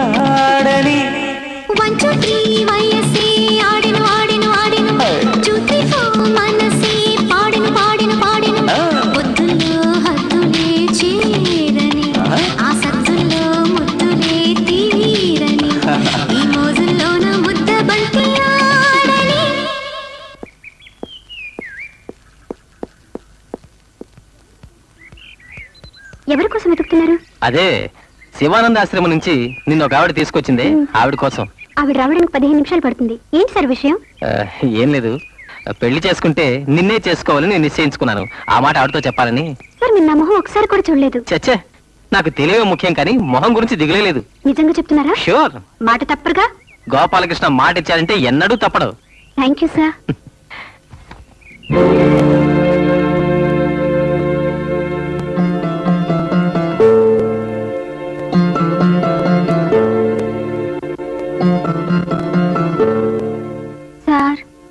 వద్దు సార్. అలా చూడకండి సార్. మీరు మీ నోటితో నేను మీకు చాలా నచ్చానని చెప్పారు సార్. ఆడిన మాట తప్పనని చెప్పారు సార్. ఇప్పుడు ఏదైనా సాకు గీకు చెప్తే అది చాలా అన్యాయం సార్. అవును సార్. పాపం ప్రియకి మీరంటే పంచి ప్రాణాలు సార్. ఒక పవిత్రమైన ప్రేమను కాదనకండి సార్ ప్లీజ్. నోర్మైంది మీకేమైనా పిచ్చి పట్టిందా? లెక్చరర్ అనే వృత్తికి ఓ మర్యాద ఒక గౌరవం ఉన్నాయి. ఆ నమ్మకంతోనే మీ పెద్దలు మిమ్మల్ని కాలేజీకి పంపించారు. ఎట్టి పరిస్థితులను నా వల్ల నేను లెక్చరర్ వృత్తికి చెడ్డ పేరు రానివ్వను. సార్ నేను మీ స్టూడెంట్ని ఆ ఒకే ఒక కారణంతోనేగా నన్ను వద్దంటున్నారు. అవును. స్టూడెంట్ వన్న ఒక్క కారణం వల్లే వద్దంటున్నాను. ప్రియా ప్రియా ఆగమ్మా ఆగమ్మా. ఏమిటమ్మా ఇది? నువ్వు ఈ కాలేజీకి పేరు తెచ్చావనుకుంటుంటే సడన్గా నిద్ర పిడిగేసి వెళ్ళిపోతావా ఐఎమ్ సారీ సార్ సార్ అసలు ఏమైంది? సడన్గా నా దగ్గరికి వచ్చి చదువు మానేస్తాను టీసీ ఇమ్మంటుంది. న్యాయంగా ఉందా? చూడు ప్రియా నీ పేరెంట్స్ ఎక్కడో శిలంలో ఉన్నారు. వాళ్ళని కన్సల్ట్ చేయకుండా ఇలాంటి డెసిషన్ తీసుకోవడం చాలా తప్పమ్మా. అది కాదమ్మా. ఈ వయసులో చదువు మానేసేంత కష్టం నీకేమొచ్చిందమ్మా? సార్ నాకు చదువు కంటే లైఫ్లో వేరే ఒక ఇంపార్టెంట్ ప్రాబ్లం ఉంది. అందుకే తీసి అడిగాను. కాదమ్మా నేను చెప్పేది. నేను అది చెప్తాను. ప్రియా ఓ నిమిషం సారీ మిస్టర్ గోపాలకృష్ణ. అలా చూస్తారేంటి? ఇప్పుడు మీ స్టూడెంట్ కాను. ఇక మన సుందరకాండలో రెండవ ఘట్టం ఆరంభం. Today evening bye bye ta-ta friends good bye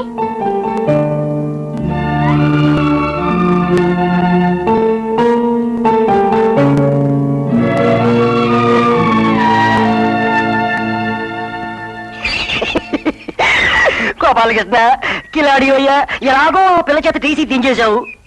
మరి పెళ్ళప్పుడు? మమ్మల్ని పిలుస్తావు కదా? భలే కాలాంతుడు అయ్యా బాబు నువ్వు.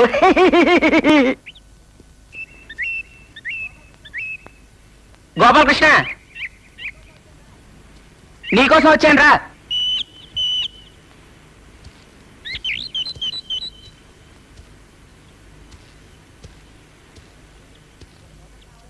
ఏమిటి? ఇక మీదట నా వల్ల నీకు గొడవ ఉండదు. ఎందుకంటే నేను కాలేజీ మానేస్తున్నాను. రేపు పొద్దున రామాలయంలో నాకు సావిత్రి మేడంకి పెళ్ళి తప్పకుండా వచ్చి ఆశీర్వదించాలి. వీలైతే నాకు తోడ పెళ్ళి కొడుకుగా వస్తే నాకు ఎంతో సంతోషంగా ఉంటుంది. ఇదిగో. ఏంటి గోపాలకృష్ణ? ఏంటి ఆలోచిస్తున్నావు? పత్రిక తీసుకో. మేడం మీతో కాస్త మాట్లాడాలి. ఇలా రండి. నేను రేపు పెళ్ళి చేసుకోబోయే ఆవిడతో నీకేమిటా మాటలు? కాదు ఇది కాలేజీకి సంబంధించిన విషయం. సరే సరే మీరు మాట్లాడుతూ ఉండండి. నేను వెళ్ళి పత్రికలు పనిచేసి వస్తా ఏ మేడం? ఏడుకొండలు మీ దగ్గర చదువుకునే స్టూడెంట్ కదా? మీరు ఈ పెళ్ళికి ఎలా ఒప్పుకున్నారు? సార్ ఇంతవరకు ఇరవై ఐదు మంది పెళ్ళి కొడుకులు వచ్చి నన్ను చూసి వెళ్ళారు. కానీ వాళ్ళంతా నాకు మనుషులా కనిపించలా. ఎందుకో చెప్పమంటారా? వచ్చిన వాళ్ళంతా మీకు జీతం ఎంత ఏం కూడబెట్టారు ఎంత కట్నం ఇస్తారు అని అడిగిన వాళ్ళే. కానీ మిస్టర్ ఏడుకుంటలు మాత్రం మేడం నా దగ్గర డబ్బుంది కానీ చదువు లేదు. మీ దగ్గర చదువు ఉంది. అందుకని మరిద్దరం పెళ్ళి చేసుకుంటే తప్పేమిటి? అని అడిగారు. ఆయన ఇన్నోసెన్సీ నాకు బాగా నచ్చింది. అందుకే ఒప్పుకున్నాను. ఏమైనా కారణం మేడం? అతను మీ దగ్గర స్టూడెంట్ కదా? అయితే ఏం సార్? పెళ్ళి చేసుకోకూడదనే చట్టం ఏదైనా ఉందా? ఇప్పుడు కూడా ఆయన నా స్టూడెంటే. ఆయనకి ఏదైనా తెలియకపోతే ఇంట్లో నే పాఠం చెప్తాను. చదువు విషయంలో ఆయన నాకు స్టూడెంట్. మిగతా విషయాల్లో ఆయన భర్త. దట్స్ ఆల్ ఏంటి మాట్లాడుకున్నారా? పత్రిక పెట్టి. మీరు తప్పకుండా మా పెళ్ళికి రావాలి. ముహూర్తానికి వచ్చారా? రండి. వస్తాను. వస్తాను.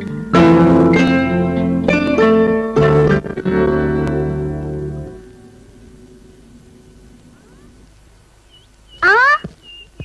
ఏదో గురువు శిష్యుడు శిష్యురాలు అని ఏదో డైలాగ్ చెప్పారే. ఇప్పుడు సావిత్రి గారి పెళ్ళికి ఏం చెప్తారు? ఇలా చూడు లోకంలో ఒక్కొక్కరికి ఒక అనుభవం ఉంటుంది. నా స్టూడెంట్ డేస్లో ఒక మాస్టర్ ఏం చేశాడో తెలుసా? తన దగ్గర చదివి ఒక అమ్మాయిని లేవ తీసుకుపోయాడు. ఆ అవమానం భరించలేక ఆ అమ్మాయి తల్లిదండ్రులు ఆత్మహత్య చేసుకున్నారు. అది ఇంకా నా మనసులో మెదులుతూనే ఉంది. కొంచెం ఆగండి. ఎప్పుడు చూసినా మీరే తత్వాలు చెప్పి మీరే రాజీ పడితే ఏంటర్థం ఇప్పుడు నేను నిర్ణయంతో వచ్చాను. సుందరఘట్టం సుందరఘట్టం ప్రియా ఇదేమైనా మొలతాడనుకున్నావా ఇది మంగళసూత్రం. దానికున్న విలువ తెలుసా నీకు? చేతితో పట్టుకుని తిరుగుతున్నావు? ఇలా చూడు నేను ఇక్కడికి వస్తూ ప్రిన్సిపల్ గారితో మాట్లాడే వచ్చాను. నీకు ఎలాగైనా బోధపరిచి మళ్ళీ కాలేజీలో చేర్పిస్తానని. దయచేసి కాలేజీలో చేరి బుద్ధిగా చదువుకో ప్రియా. సారీ నేను నా నిర్ణయాన్ని మార్చుకోలేను. ఇప్పుడు నా మనసులో ఉన్నదంతా భార్య అనే స్థానాన్ని పొంది ఓ డెబ్బై ఐదు మార్కులని వలనే నువ్వు నూటికి నూరుటికి నూరు తెచ్చుకో ఎవరినైనా పెళ్ళి చేసుకో. నేను వద్దనా నన్ను వదిలే. వదలను. వచ్చే శుక్రవారం మీరు నా మెళ్ళో ఇది కట్టాలి. అలా కట్టలేదో? ఎవరో ఒక మాస్టరు ఓ అమ్మాయిని లేపుకుపోవడం వల్ల వాళ్ళ అమ్మా నాన్న ఆత్మహత్య చేసుకున్నారని చెప్పారే? అది మీ మొదటి అనుభవం. ఇప్పుడు మీరు జీవితంలో చేసిన మోసానికి ఓ ఆడపిల్ల విషం మింగి చస్తుంది. ఇది మీ రెండవ అనుభవం. నేను చావడమో బతకడమో రెండు మీ చేతుల్లో ఉన్నాయి. మీరే తీర్మానించుకోండి. నేను వస్తాను. Friday Friday! దంపతులుగా కలుసుకుందాం!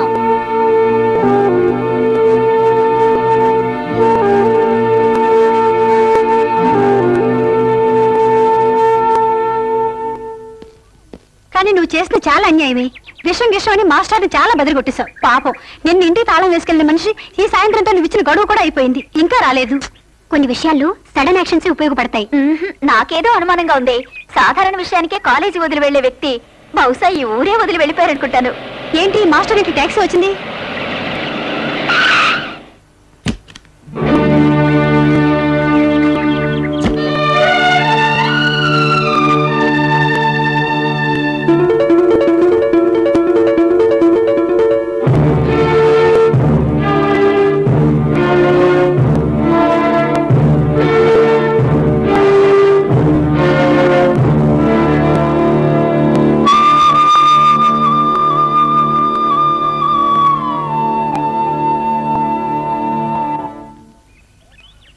లోపలికి రా.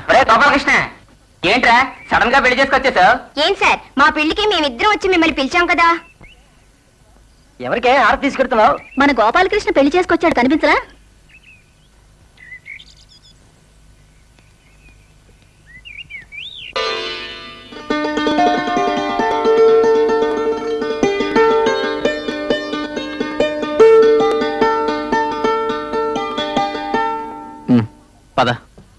ఆగండి సార్. అమ్మాయి మొట్టమొదటిసారిగా ఇంట్లో అడుగు పెట్టేటప్పుడు మగపిల్ల వారి తరఫున ఎవరైనా పెళ్ళి కూతురు మెళ్ళ నగ వెయ్యాలి ఎవరైనా ఉన్నారా? లేదండి. నేను అర్జెంటుగా పెళ్ళి చేసుకోవడం వల్ల ఆ ఏర్పాట్లేం చేయలేదు. నగలు రేపు కొనుక్కొస్తాను. కాదు సార్. కొన్ని సాంప్రదాయాలు ఖచ్చితంగా పాటించాలి. ఈ మేస్టార్ ఏదో అర్జెంట్గా అనాథాశ్రమంలో పెళ్ళి చేసుకొచ్చారు. ఆయన కూడా పాపం అనాథ. దీనికి శాస్త్రం సంప్రదాయం ఏముందిలే సాంప్రదాయాలను తోసిపారేయడం న్యాయం కాదు కదా? ఆయన ఏదో అనాథ పిల్లని పెళ్ళి చేసుకొస్తే పదే పదే అదే మాట అంటే ఎలా? సరే పోనీండి లోకల్లో ఎవరూ అనాథులు కారు. ప్రతి ఒక్కరికి ఎవరో ఒకరి సహాయం ఉంటుంది. నువ్వు రామ్మా. రా. గోపాలకృష్ణ ఇప్పుడే పెళ్ళి చేసుకొచ్చారు కదా. ఎప్పుడు వంట చేసి ఎప్పుడు భోజనం చేస్తారు? అందుకే మీ ఇద్దరు మా ఇంటికి రండి. హాయిగా భోజనం చేద్దరు గాని. వద్దు తను వండుతుందిలే. ఎప్పుడు నువ్వు అలాగంటావు? ఏం మేడం? ఏంటి ఏడుకొండలు మన ఇంట్లో వండి తీసుకొద్దామా? ఓకే ఏడుకొండలు అయితే పద.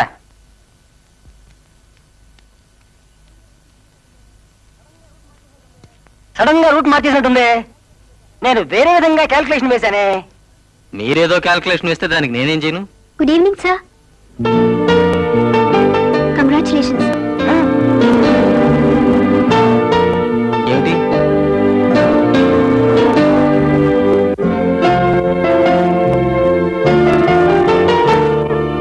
దీపం వెలిగించమ్మా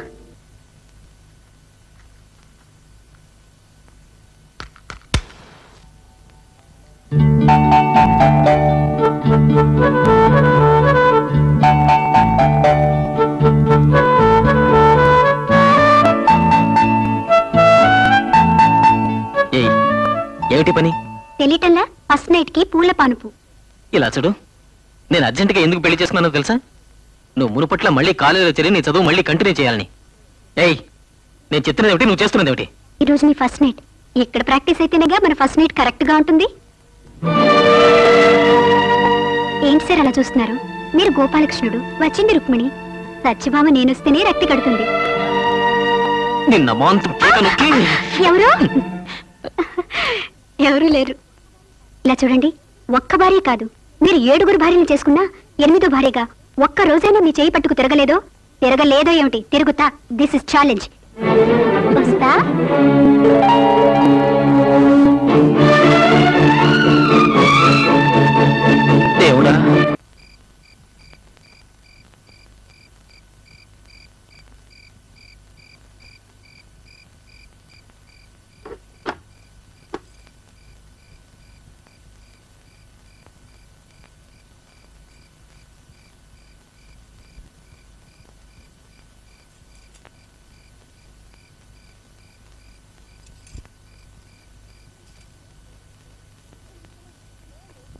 రుక్మిణి ఏమైంది ఎందుకు ఏడుస్తున్నావు? ఏమి ఆ మాస్టర్ మన హాస్టల్ నుంచి ఎంతో మంది అమ్మాయిని పిలిపించి ఇంటర్వ్యూ చేసి ఎవరూ నచ్చలేదన్నారు. కానీ నిన్ను చూసి ఒక్క మాట కూడా చెప్పకుండా పెళ్ళి చేసుకుంటానన్నందుకు సంతోషించాలి. అలా కాకుండా ఏడుస్తున్నావేంటే? అది ఏడ్చేది కూడా న్యాయమేని. ఆ మాస్టర్ మనందరినీ ఎన్ని ప్రశ్నలు అడిగారు? కరెక్ట్. మొదటి పరిచయంలోనే దీన్ని దీపపు సమ్మ ఐదు ముఖాలు అని ఏవేవో ప్రశ్నలు వేశారు. పాపం. అమ్మవారి గుడి తప్ప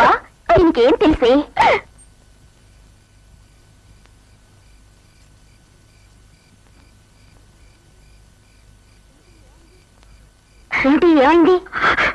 కాదు మన ఆశ్రమంలో ఉదయాన్నే లేచి కాఫీ తాగే అలవాటు కూడా ఎవరికీ లేదు.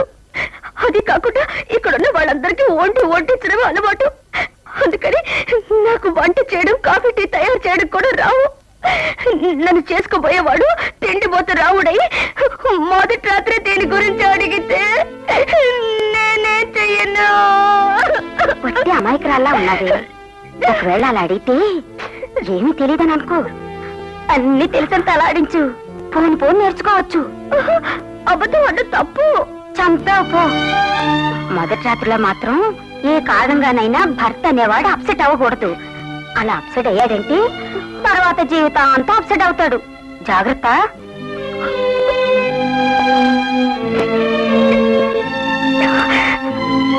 ఏయ్, ఏమిటిది? నట్టింట్లో నుంచి అలా దిక్కులు చూస్తున్నావు?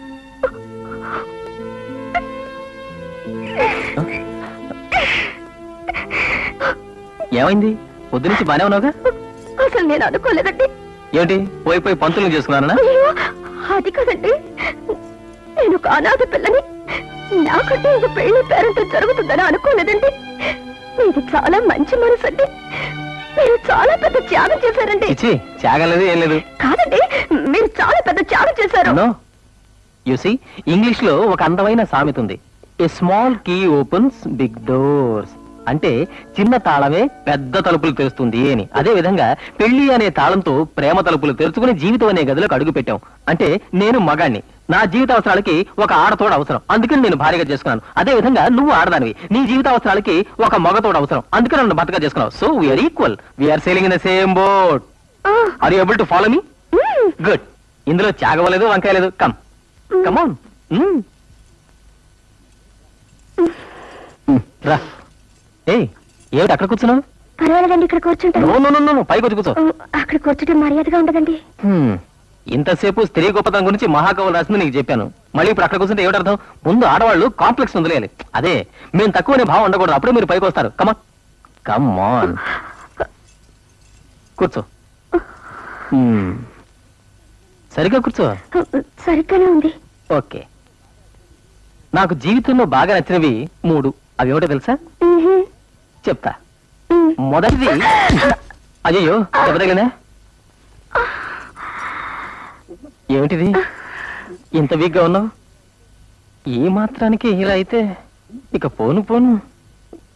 ఇలా చూడు రేపటి నుంచి నువ్వు బాగా తినాలి. ఎందుకంటే ఆరోగ్యమే మహాభాగ్యం. ఇక నుంచి నువ్వు పెద్ద కుటుంబ భారాన్ని మొయ్యాలి కదా. సరేనండి. మీకేవో ఇష్టమైన విషయాలు మూడున్నాయన్నారే. చెప్పండి. కరెక్ట్. నేనేదో రూటు మరణ కూడా నువ్వు ఆ పాయింటే పట్టుకున్నావు. నాకు జీవితంలో బాగా నచ్చిన మొదటి విషయం తల్లి తండ్రి. ఎందుకంటే ఈ లోకం అంటే ఏమిటో నేను తెలుసుకోవడానికి కారణం వాళ్ళే రెండో విషయం నాకు పాఠాలు నేర్పిన గురువు. ఎందుకంటే ఆయన వల్లే నేను లోక జ్ఞానం తెలుసుకున్నాను. మూడోది ఇప్పుడు నువ్వు వచ్చావు. ఇంతకు ముందు నాకు బాగా నచ్చిన మూడో విషయం బుక్స్ అంటే పుస్తకాలు. సీదేర్. ఆ పుస్తకాల్ని నేను ఒక పెద్ద నిధిగా భావిస్తాను ఎందుకంటే వాటిలో చాలా గొప్ప చాలా గొప్ప విషయాలు ఉంటాయి నేను కాలేజీకి వెళ్ళినప్పుడు నీకు ఇంట్లో బోరు కొట్టిందనుకో నువ్వు ఆ పుస్తకాలన్నీ చదువుకుని మంచి జ్ఞానం సంపాదించచ్చు. ఆ, టేబుల్ మీద మిల్టన్ రాసిన పారడైజ్ లాస్ట్ అనే పుస్తకం ఉంది. తే తేరుకుమిని ఆ పుస్తకంలో చాలా విషయాలు ఉన్నాయి అందులో మిల్టన్ ఏం చెప్పాడంటే ఆలుమగల దాంపత్య జీవితంలో ఒకరి కోసం ఒకరు త్యాగం చేసుకునే గుణం సహన భావం చాలా అవసరమని స్పష్టంగా నొక్కి ఒక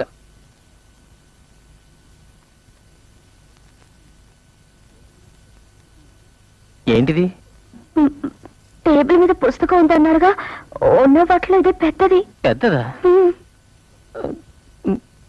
నువ్వేం చదివావు? ఏంటి విగ్రహాలు అనుచున్నావు ఏం చదివావు? ఏంటి పెళ్ళికి బిగించావు.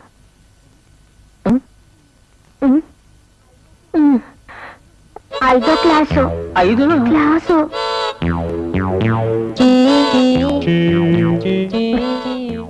నాదేం తప్పలేదండి.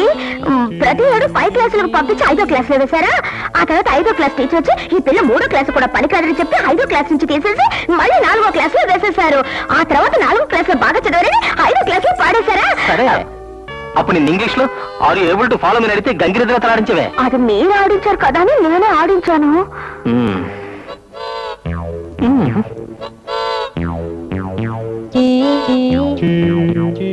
ఏమండి. ఆప్సెట్ అయ్యారా? ఆప్సెట్ అయ్యారా అని అడిగాను. అర్థం కాలేదు. కాదు మొదటి రాత్రి మాత్రం ఏ కారణం చేతనైనా భర్త ఆప్సెట్ అవ్వకూడదు. అప్పుడు ఆప్సెట్ అయితే జీవితం మొత్తం ఆప్సెట్ అవుతుందని ఆశ్రమంలో చెప్పారు. అది ఆప్సెట్ కాదు రుక్మిణి అప్సెట్. ఏమిటి. అదే మీరు చెప్పారే అదే. ఓకే. చదువు విషయంలో నేనే చెప్పానుగా మిల్టన్ చెప్పాడని. ఒకరి కోసం ఒకరు త్యాగం చేసుకునే గుణం సహనభావం ఉండాలని. తొందరపడి పెళ్ళి చేసుకున్నాను. సరే పోనీ. వంట తెలుసా?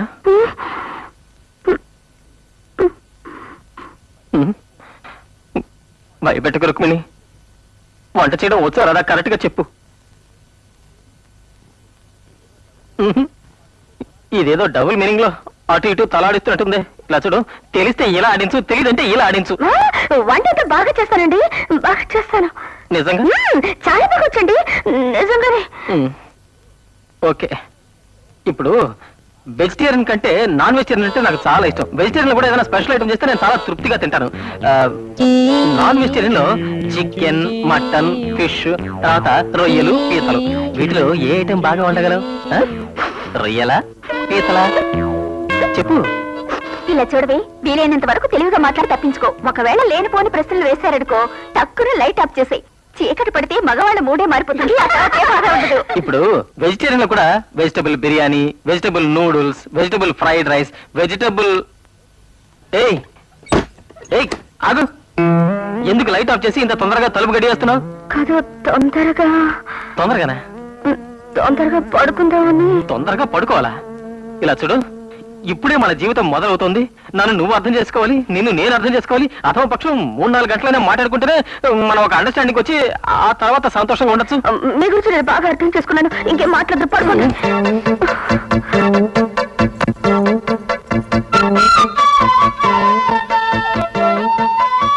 ఏమండి? కోపమా? మిమ్మల్నేనండి. అండి కోపమా?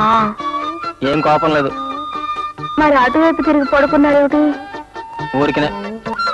మాటలైతే వద్దని చెప్పాను గాని మిగతా విషయాలు వద్దని చెప్పానా?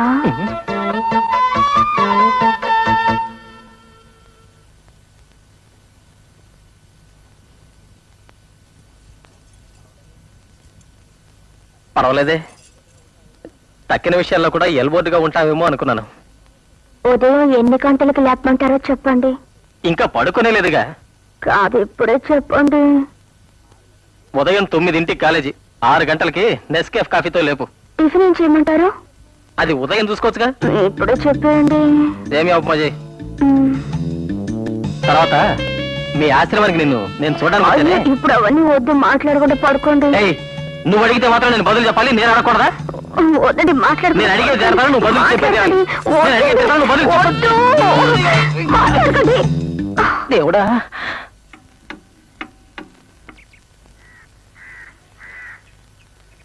పిన్నిగారు? పిన్నిగారు? పిన్ని గారు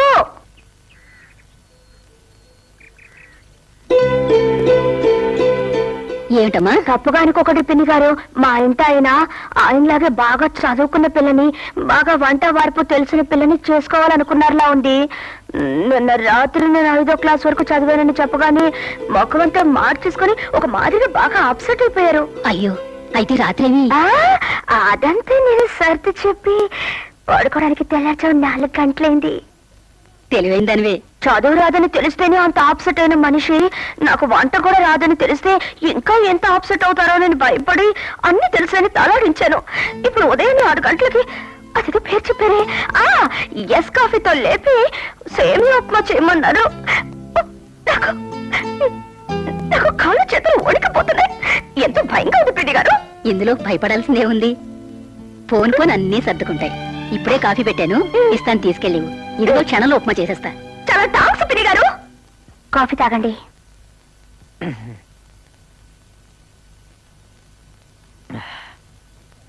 రుక్మిణి ఊరికే అనకూడదు కానీ దేవుడు కొన్ని విషయాల్లో నీకు లోటు చేసినా కొన్ని విషయాల్లో టాపు లేపేశాడు. కాఫీ బ్రాహ్మణ ఇంటి కాఫీ లాగే ఉంది సరే సరే. మీరు కాఫీ తాగి స్నానం చేసి రండి నేను ఉప్మా చేస్తాను. చాలా థ్యాంక్స్ పిల్లి గారు. థ్యాంక్స్ కాదమ్మా థ్యాంక్స్ అదే మీరు చెప్పిందే?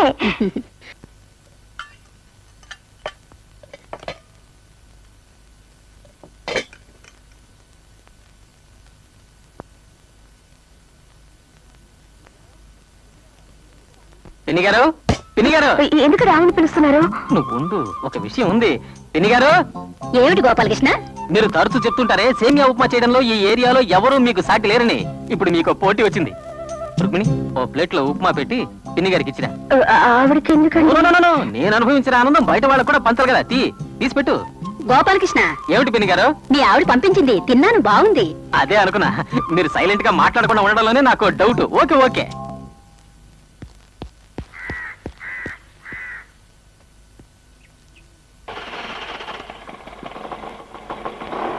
వెళ్ళానా?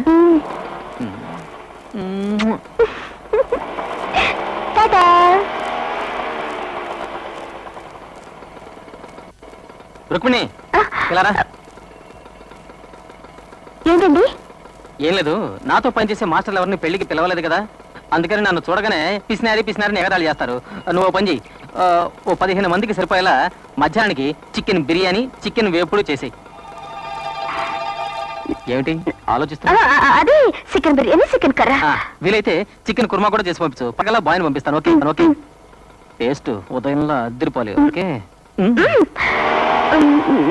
Chicken korma? Chicken biryani chicken korma chicken కర్రా. ఆ, పిన్ని గారు! అయ్యో బ్రాహ్మణుడికి వెళ్ళి ఎలా అడగను? ఇరుక్కున్నాను ఇరుక్కున్నాను. ఊరికి అన్నారా? ఒక అబద్ధం పడితే దాన్ని కప్పిపుచ్చడానికి వంద అబద్ధాలు ఆడాలని మాట్లాడకుండా రాత్రి నాకు వంట రాదని చెప్పుడాల్సింది దొంగ గాడిగా ఎదికి దాచిపెట్టేవాడి సాయంత్రం వచ్చాను అడిగితే ఏం సమాధానం చెప్పను? అమ్మా కరమరమ్మా కనకదుర్గమ్మ తల్లి కాపాడమ్మా అవును మాస్టర్ మధ్యాహ్నం భోజనానికి చికెన్ బిర్యానీ అవి ఇవి చేయమన్నారు. ఇప్పుడు ఇవిడ చేస్తుందో? నేను అదే ఆలోచిస్తున్నాను. టైం చూస్తే పన్నెండు అవుతుంది. అలా చూడు క్యారియర్ తీసుకెళ్ళడానికి చలమే వచ్చాడు. నేను పొద్దు నుంచి కిటికీలను చూస్తూనే ఉన్నాను. ఆవిడ పోయి రాజేసినట్టు లేదు. వంట చేసినట్టు లేదు. ఇప్పుడు ఏం చేస్తుందో ఏమిటో. పంతులు గారా నేను కాలేజీ నుంచి వస్తున్నాను. పంతులు గారు భోజనం తీసుకురమ్మన్నారు.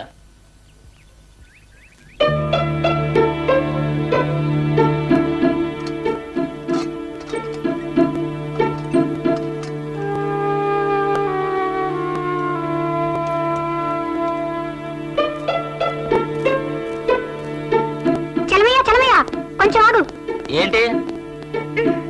పంతులు గారు.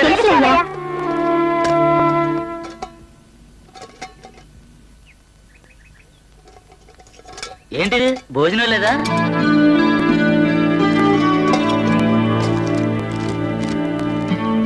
మొగుడు గారికి చేయించుకోండి వంట నాకు రాదు ఆఫ్సెట్ కావద్దు Rukmini. Rukmini? Rukmini? My dear darling Rukmini ఎక్కడున్నావు? నేను ఇక్కడున్నాను.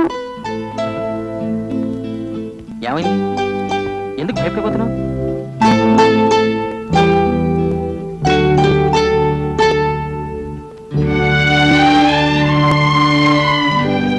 ఎందుకు బెత్తం? నన్ను నాలుగు కొట్టండి.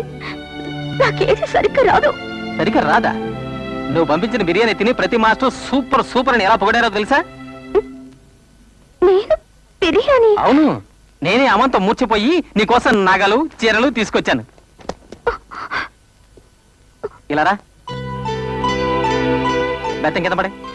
పడే అంత బ్రహ్మాండంగా బిర్యానీ తయారు చేసిన ఈ చేతికి దెబ్బలా. ఎక్కడికి? బెడ్రూమ్.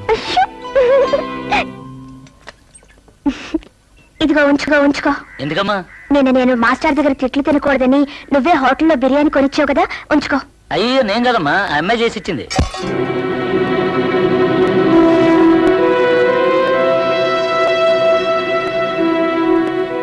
ఎవరిచ్చారని చెప్పు.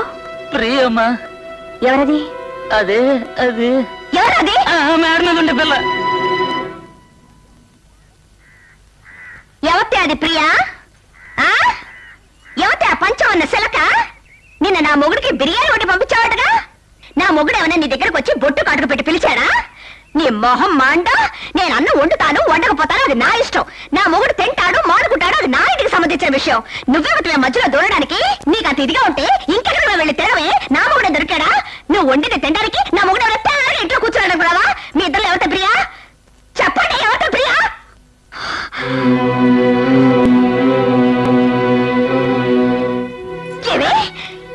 నా మూడికి బిర్యానీ ఒకటి పంపించావు ఎవరు అడిగి చేసావే చెప్పు ఏదో తెలియక. ఎవరన్నా మాట్లాడావంటే చంప పగిలిపోద్ది. పిండి గారు ఉన్నారని చూస్తున్నాను. పోవే అటు. పోవేటే ఏమే పన్నీలాడి? నీకెన్ని గుండెలుంటే నా ముగ్గురికి నువ్వు బిర్యానీ ఒకటి పంపిస్తావు. నాకేం తెలియదు అనుకున్నావా? ఏ ఊరే నీది? మాట్లాడేవే? నువ్వు నీ కళ్ళతాలు నీ మూడి నీ మొహను. ఇలా చూడు. ఇంకెప్పుడైనా నా మొగుడు వచ్చేటప్పుడు గాని వెళ్ళేటప్పుడు గాని నీ మొహం ఎక్కడైనా కనిపించిందో నీ పీక బిసికి చంపేస్తాను. జాగ్రత్త.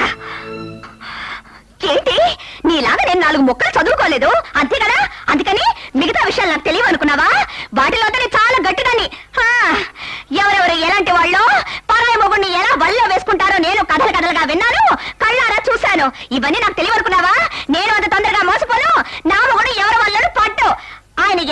ఎవరనుకుంటున్నావే బంగారం అంటే బంగారం మేలు బంగారం. ఏ నగర వచ్చి బొట్లో వేసుకోలేదు!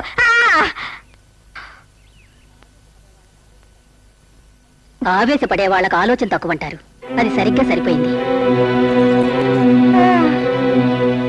ఏదైనా బయట నుంచి చూస్తే తప్పుగానే కనిపిస్తుంది. చెప్పండి. ఆ పిల్లది ఎంత మంచి మనసు మీ ఇంట్లో ఉంటుందనేగా వెంటనే బకాట పుచ్చుకొని వచ్చేసారు మీ మనసు ఏమిటో నాకు బాగా అర్థమే. ఈ చైన్ మీరే కదా వేశారు? ఇదిగోండి తీసుకోండి. ఏమిటమ్మా? ముందు తీసుకోండి. మళ్ళీ మళ్ళీ తప్పు చేస్తున్నావమ్మా. ఎవరు ఏం ఏం చెప్తున్నారు మీరు? అసలు మీరా? మంచోళ్ళు ఎవరో చెడ్డ వరకు కొంచెం ఆలోచించండి. ఇవాళ నా మొగుడు కొట్టి పంపించింది. రేపు మీ మొగుడు పంపించడానికి గ్యారెంటీ ఏమిటి? మీ మొగుడు వయసు అయిపోయింది అందుకని మీకు భయం లేకపోవచ్చు. కానీ నా మొగుడు అలాగా. ఎవరు చూసినా ఎగరేసుకుపోవాలనుకుంటారు. అందుకే నా జాగ్రత్తగా నేను ఉంటాను. చూడమ్మా అర్థం లేకుండా మాట చాలు పిరిగారు మీరు పెద్ద మనుషులు అనుకున్నాను చూడండి. ఇక మీద మీ సాహసమే నాకొద్దు. నిజంగా అవును, నాకు నా మొగుడే గొప్ప. వస్తాను? ఈ చైన్ నాది కాదు. ఆ అమ్మాయిది. నువ్వే తీసుకెళ్ళి.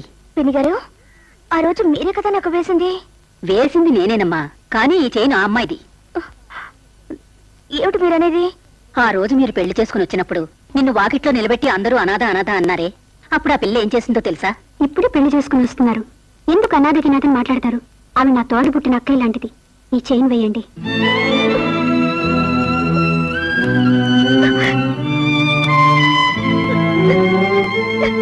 నన్ను అక్కన అందా?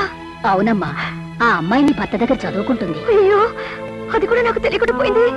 ఆ రోజు కాలేజీకి ఖాళీ క్యారియర్ తీసుకెళ్ళుంటే అతనికి అవమానం నీకు బాధ. అందుకే ఆ పిల్ల అంత అర్జెంటుగా చేసి పంపించింది. పోయింది. నేను వస్తే దద్దమ్మనని రుజువైపోయింది. పిన్ని గారు నా చెల్లెల దగ్గరికి వెళ్ళి ఒక మాట మాట్లాడొస్తాను. అమ్మ ప్రియా చెల్లి!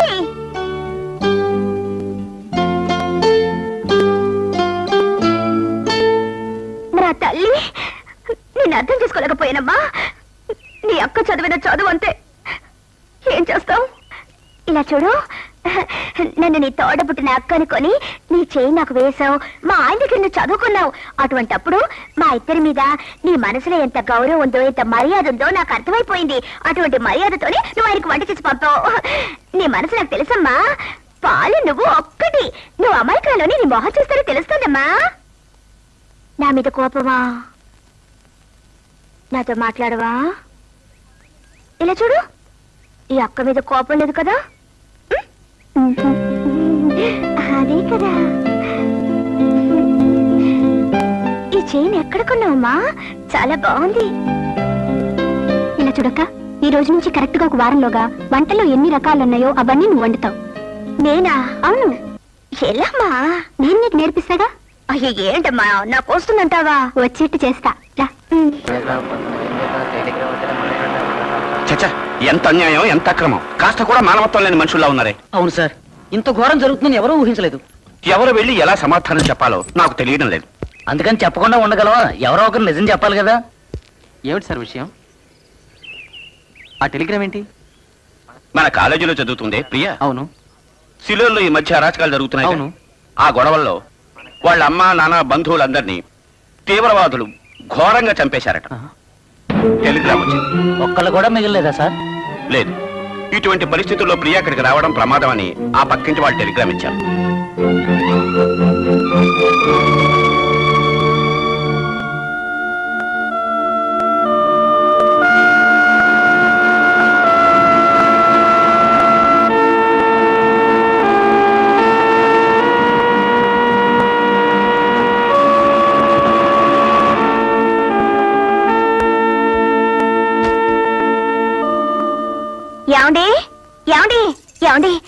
పిల్ల విషయం విన్నారా? ఉదయం అనగా మేడ మీదకి వెళ్ళి కూర్చుంది. ఇంతసేపు నేను పిన్ని గారు పక్కింటి వాళ్ళు ఇంకా ఆ పిల్లతో చదువుకున్న పిల్లలు అందరం కలిసి ఎంతో ఓదార్చి చూసామండి నోరు తెరిచి ఒక్క మాట కూడా మాట్లాడలేదండి. పిచ్చి పట్టిందల్లా అలాగే కూర్చుండిపోయింది దాన్ని చూస్తుంటే నాకేదో భయంగా ఉందండి. ఏమండి మీరు వెళ్ళి కాస్త ఓదార్పుగా మాట్లాడండి. మీతోనైనా ఆ పిల్ల మాట్లాడుతుందేమో చూద్దాం. రుక్మిణి ఇంతమంది ఓదార్చినా మాట్లాడింది నాతో మాత్రం ఏం మాట్లాడుతుంది చెప్పు. అది కాదండి. ఆ పిల్లకి మీరంటే చాలా గౌరవం. అది కాకుండా మీకు ఎలా మాట్లాడాలో తెలుసు. అందుకనే వెళ్ళండి.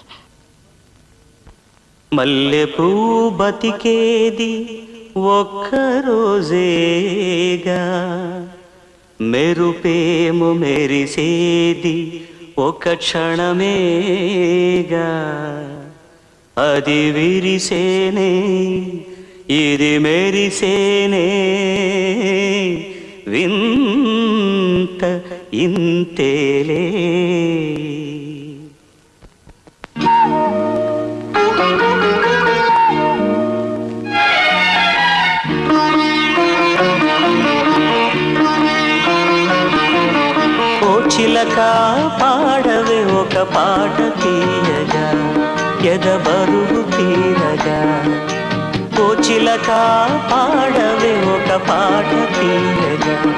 ఎద బరువు తీరగా వేడుకే ఒక వరము అంట వేదనే ఒక క్షణములే. భూమిపై నీ కథలు ముగిసిపోతే అది నిజములే. కోచిలక పాడవే ఒక పాట తీరగా ఎదబరు తీరగా?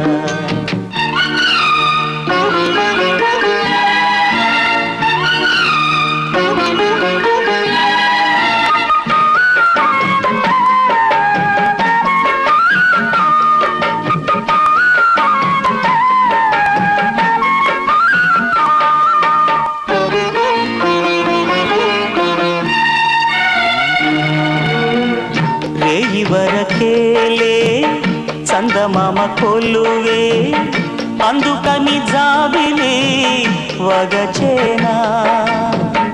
అందమైన రూపం దాచ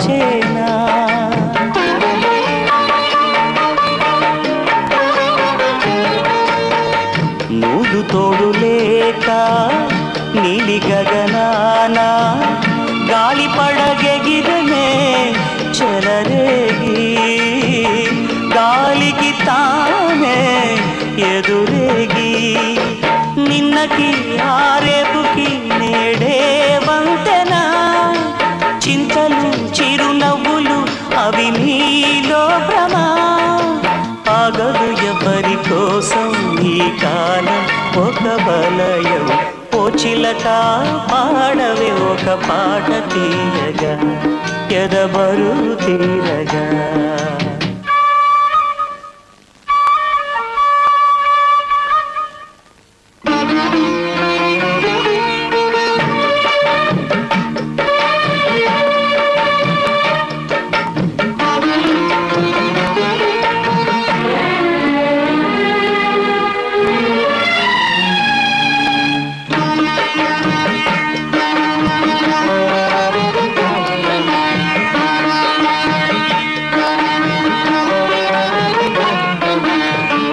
వేసవి కాలం వర్షాకాలం ఆ తర్వాతే చలికాలం. ఇంతే ఇంతే ఋతుచక్రం.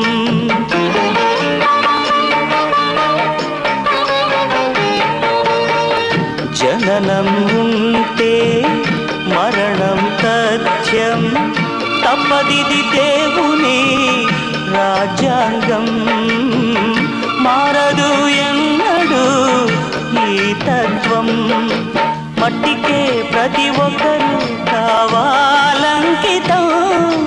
కాదులే నీకు శాశ్వతం ఈ నీ జీవితం.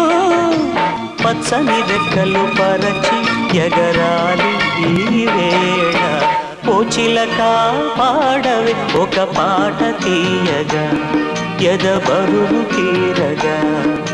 ఓ చిలక పాడవే ఒక పాట తీయగా ఎద బరువు తీరగా. వేడుకే ఒక వరము అంట వేదనే ఒక క్షణములే భూమిపై నీ కథలు ముగిసి పోవుటే అది నిజములే ఓ పాడవే ఒక పాట తీయగా ఎదబరు తీరగా.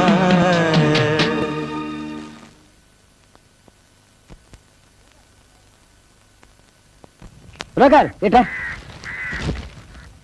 మా ఇంట్లో పోర్షన్ ఖాళీ కాబోతోంది ఎవరైనా మంచి పార్టీని తీసుకురా అని చెప్పానే? ఏమైంది? మొన్న కూడా పదివేల రూపాయలు అడ్వాన్స్తో పార్టీ వచ్చిందండి. కానీ అమ్మగారు మీ అమ్మాయి ఆ సిలోన్ అమ్మాయిని ఇప్పుడే ఖాళీ చేయించేస్తే అంత బాగుండదు. అందుకని ఓ నెల పోయాక రా చూద్దాం అన్నారు. ఓయ్ ఎవరెవరి కష్టం వాళ్ళకు ఉంటుందయ్యా? ఇంతకాలం ఊరి నుంచి ఆ అమ్మాయికి డబ్బులు పంపించేవారు? దయాదాక్షిణ్యం చూస్తే ఎవరైనా నాకు డబ్బు ఇచ్చేది నువ్వా?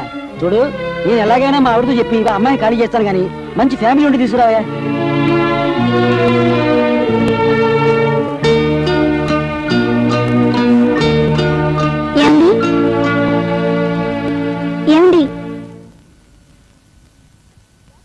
ఏంటమ్మా?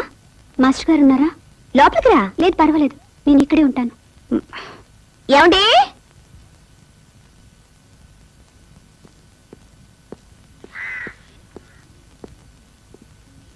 ఏమిటి ప్రియా?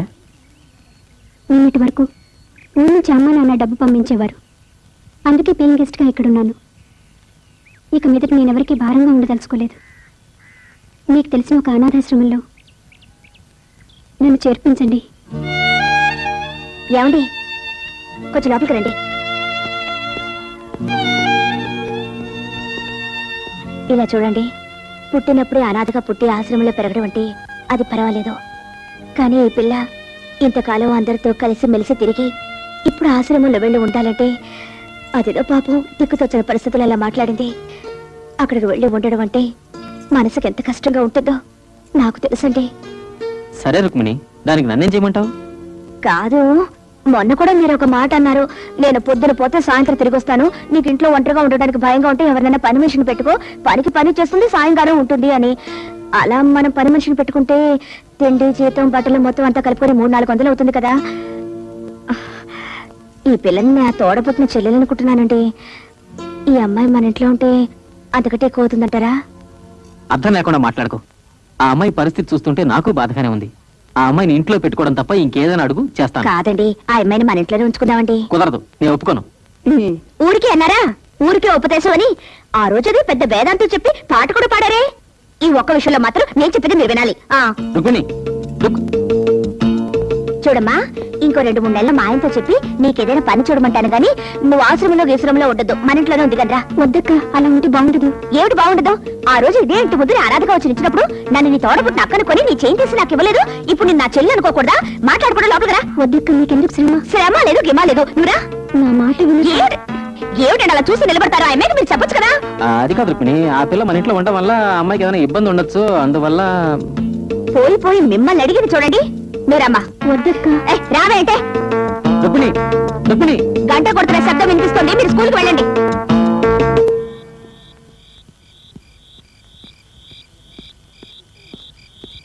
రుక్మిణి ఎక్కడ? కిచెన్లో ఉంది.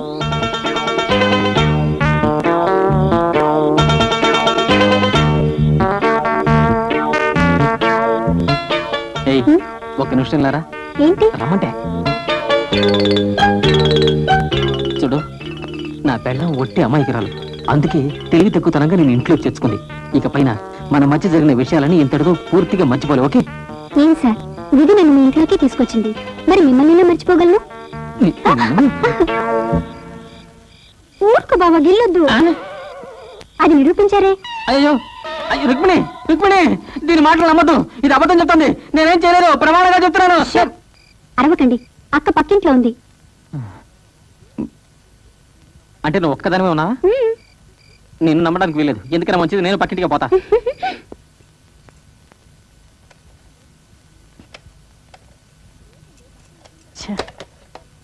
ఏమిటండి దాంతో యుద్ధం చేస్తున్నారు? హాయిగా పాట విందామని కొత్తవి రెండు క్యాసెట్లు తెచ్చాను. ఇది మూడు వందలకి చీప్గా దొరుకుతుంది కదా అని సెకండ్ హ్యాండ్లో కొన్నాను. ఆస్తిర సమయంలో అడియాస్ చేసింది సరే ఇవాళ టైం రెండైనా మూడైనా సరే. ఎలాగైనా దీన్ని రిపేర్ చేసి పాట వినే పడుకుంటాను. ఏమండి. అందులో వింటేనే పాట. నేను పాడితే పాట కాదా?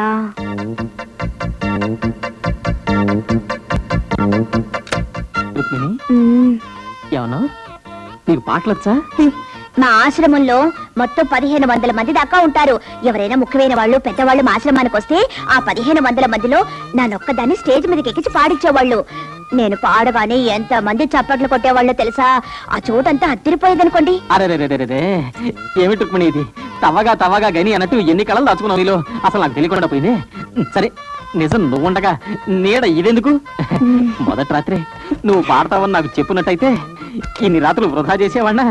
అవును నీకు పాటలు వచ్చిన సంగతి అసలు నాకెందుకు చెప్పలేదు రుక్మిణి? మీరు ఎప్పుడైనా అడిగితేనే కదా నేను చెప్పడానికి. Correct correct. ఇప్పుడు అడుగుతున్నానుగా. పాడు. పాడు రుక్మిణి పాడు.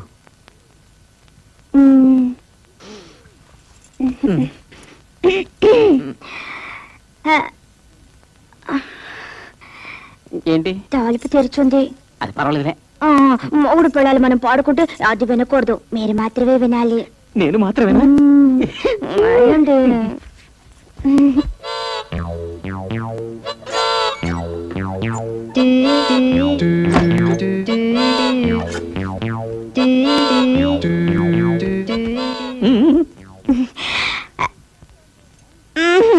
నాకు సిగ్గేస్తుంది ఏమైంది రుక్మిణి? మీరు నా మొహం చూస్తుంటే నాకు రావటం లేదు. మొహం చూడకుండా ఇంకేం చూడమంటావు చెప్పు. ఆడు తిరగండి. అయ్యో నేను చూడాలి. పాడి చెవులతోనే కదా వింటారు. తిరగండి మీరు.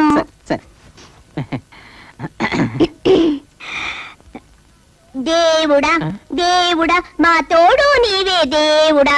దిక్కే తెలియని దీనులకెల్లా చేదోడు దేవుడా. దేవుడా దేవుడా దేవుడా.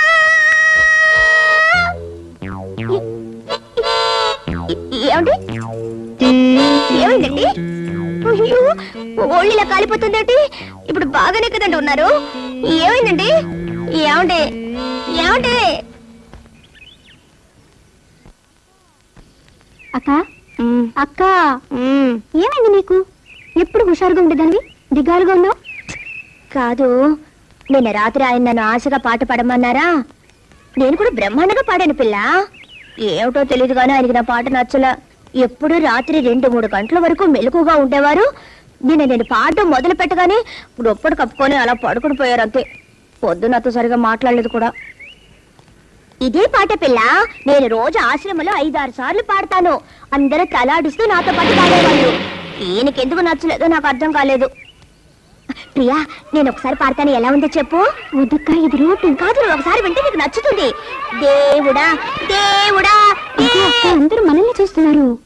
ఆ చూస్తే చూసారులే పో. అది కాదక్క నేను చెప్పేది ఏంటంటే నీ గొంతు బ్రహ్మాండంగా ఉంది. ఈ రోజు నుంచి కరెక్ట్గా మూడు రోజులు. రోజు నాతో పాటు ప్రాక్టీస్ చేసావంటే వంట ఎలా నేర్చుకున్నావు అదే విధంగా పాట కూడా అదరగొట్టేస్తావు. ఏమిటి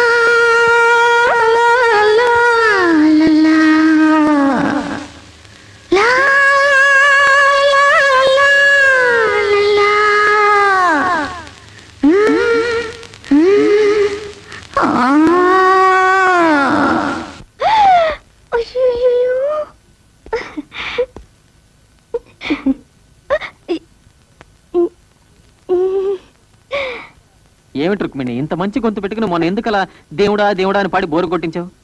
ప్లీజ్ రుక్మిణి. పాడు రుక్మిణి. పాడు.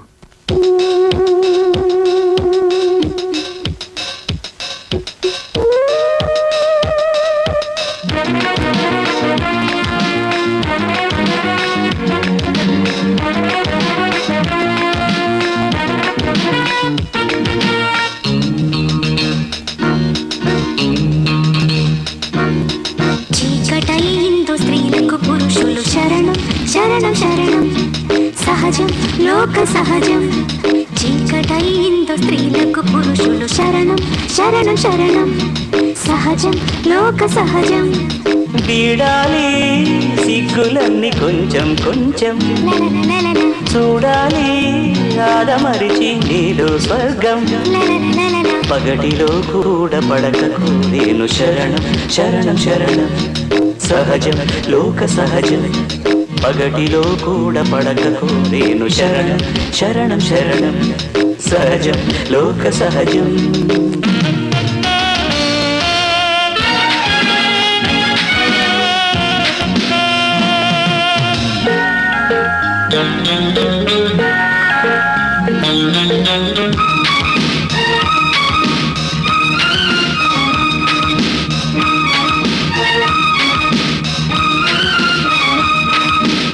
ఆడి పాడే. జాజి మల్లి ఓ కంట నన్ను చూడవే నా జంట సిరులు పంచవే.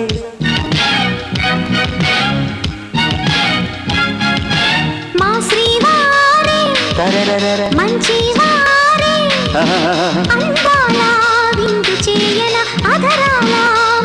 పంచన మురిపాల చూడాలి నా లోకం. చూపులతో ఆరంభం. అయితే ఎందుకు ఆలస్యం? శరణం శరణం శరణం. సరసం అమృత కలశం. చీకటైందో స్త్రీలకు పురుషులు శరణం శరణం శరణం. సహజం లోక సహజం. పగటిలో కూడా పడకకు నేను శరణం శరణం శరణం. సహజం లోక సహజం. ప్రియా? అయ్యో షూకి పాలిష్ వేయలేదని నిన్నే నన్ను తిట్టారు. మర్చిపోయాను. ఫోన్లే నువ్వైనా వేస్తున్నావు. My going temple husband name puja? Husband batting suppose my late you you. సర్లే ఆ, అంతకంటే మనకు రాదు కానీ అది వదిలే. నేను వచ్చే లోపల ఆయన స్నానం చేసి వచ్చేస్తే ఆయన కొంచెం tiffin పెట్టేయమ్మా. My coming soon.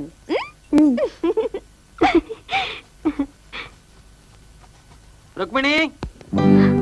My darling Rukmini. Rukmini urgent త్వరగా రా.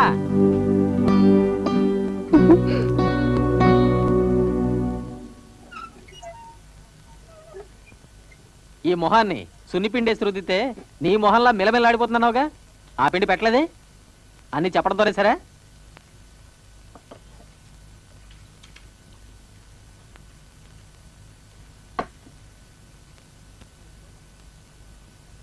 ఇందా ఈ సోప్ పట్టుకో. పట్టుకో. సోప్ ఇచ్చింది వీపు రుద్దడానికి. తమాషా రుద్దడానికి కాదు రుద్దు. ఊరికే అన్నారా పెద్దలు? సంసారం ఒక కరెంట్ అని. పెళ్ళాన్ని చేయి తగలగానే పెద్ద ఎలక్ట్రిక్ షాక్ కొట్టినట్టు కరెంట్ జిప్పురెక్కేసింది అవును మొన్న అక్కడెక్కడో గోరు తగిలి గాయమైందన్నావు? అది ఇప్పుడు నయమైందా? అది ఏమిటో గాని ఆ సమయంలో మాత్రం ఉద్రేకం ఎక్కువైపోయి. ఇవాళ ఆదివారం లీవు. మనం ఆ పిల్లని ఇంట్లోకి తీసుకొచ్చినప్పటి నుంచి పగటి పూట నీతో రొమాన్సే కుదరటం లేదు. ఇవాళ ఏదో ఒక సాగు చెప్పి ఆ పిల్లని బయటకు పంపించి సమాధానం చెప్పకపోతే ఎలా? ఆ పిల్లని ఎలాగైనా పంపించేయి. అదేవిడ కొత్త పెళ్ళి కుదరలో సిగ్గుపడిపోతున్నావు రా. కమ్మోన్ రా. రాయ్ అయ్య బాబాయ్.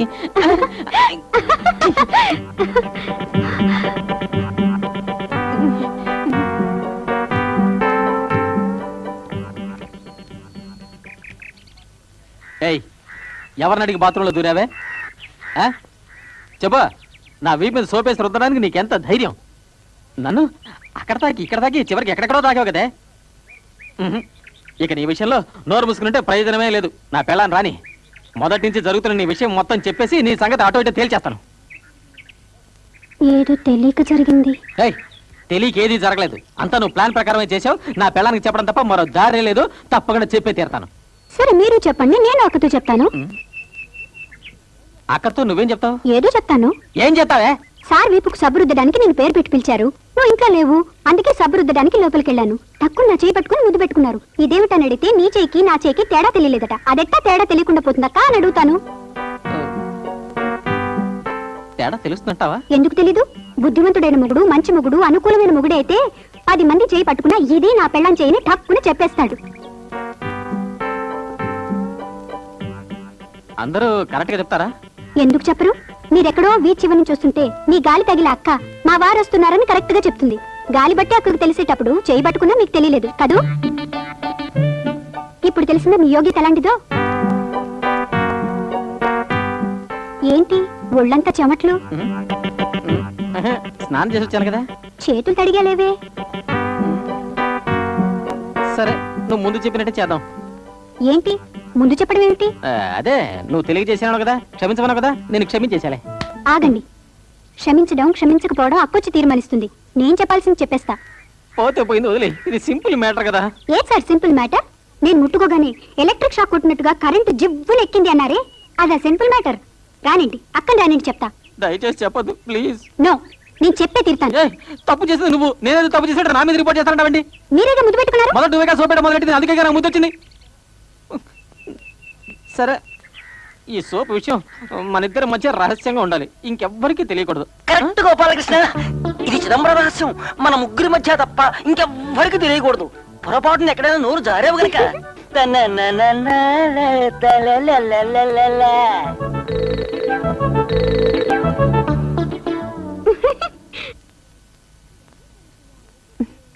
త్వరగా కానీ ప్రియా ఆయన వచ్చేస్తారు.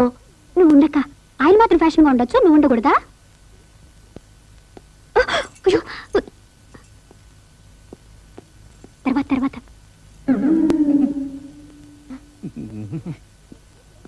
ఏమిటండి? ఎప్పుడు ట్యూషన్ అయిపోగానే టంచనగా ఏడు గంటలకే వచ్చేసేవారు? ఇవాళ ఆలస్యం ఏందేమిటి? అది బజార్ వరకు వెళ్ళొచ్చాను. బజార్కా. ఎందుకు.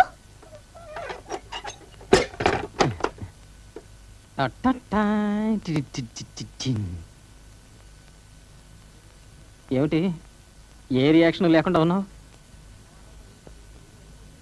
పదహారు పదిహేడు పద్దెనిమిది తేదీలు అయిపోయి ఒక వారం అయిందిగా మరింకే? కాదు ఇవాళ సమయపురం అమ్మవారికి వ్రతం.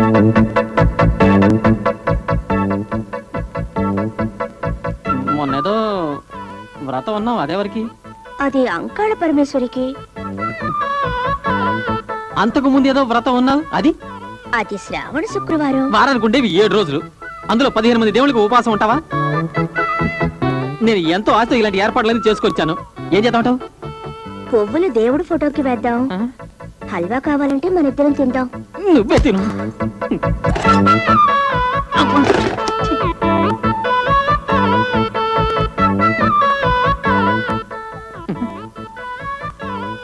నాకు హల్వా పువ్వులు ఏం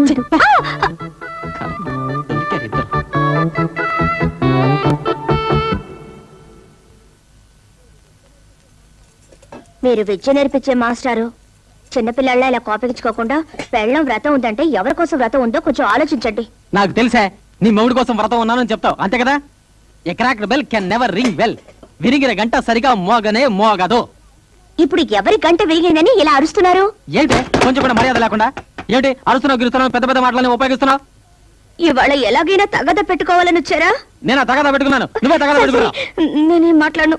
ఇదిగోండి. మీరు తినండి. ఇప్పుడు ఏమైందని ఇలా ప్లేట్ విసిరేశారు? ఎక్కువ మాట్లాడమంటే నెత్తినేసి కొడతాను. ఓహో అదొక ఆలోచన కూడా ఉందా? ఇప్పుడు అర్థమైందండి. మీరు చెప్పే స్త్రీ సమానత్వం ఏమిటో? హో, మిగతా వాళ్ళందరూ కోపగించుకొని వెళ్తే ఇల్లు వాకిలి ఎరుగు పొరుగు అంతా ఉన్నారు. నేను అనాథని కదా? నేను ఎక్కడికి పోలేనే కదా? ఆధారంతోనే కదా మాట్లాడుతున్నారు? నేను కోపగించుకొని వెళ్తే నాకు ఒక ఇల్లు ఉందండోయ్ నీకెక్కడుందే ఇల్లు? ఏ పిడిగారి లేదా? కోపగించుకుని పోగలవు నువ్వు? ఏది పో చూద్దాం. నేను పోవాలని అనుకుంటున్నారు కదా? చేయాలండి. మీరు తింటే నాకేంటి నాకేంటి? ఎలాగో పోండి. ఆ రుక్మిణి రుక్మిణి. నేను ఉండను అయ్యో రుక్మిణి ఆగు. రుక్మిణి రుక్మిణి తప్పు నాదే. ప్లీజ్ దయచేసి ఆగు. రుక్మిణి.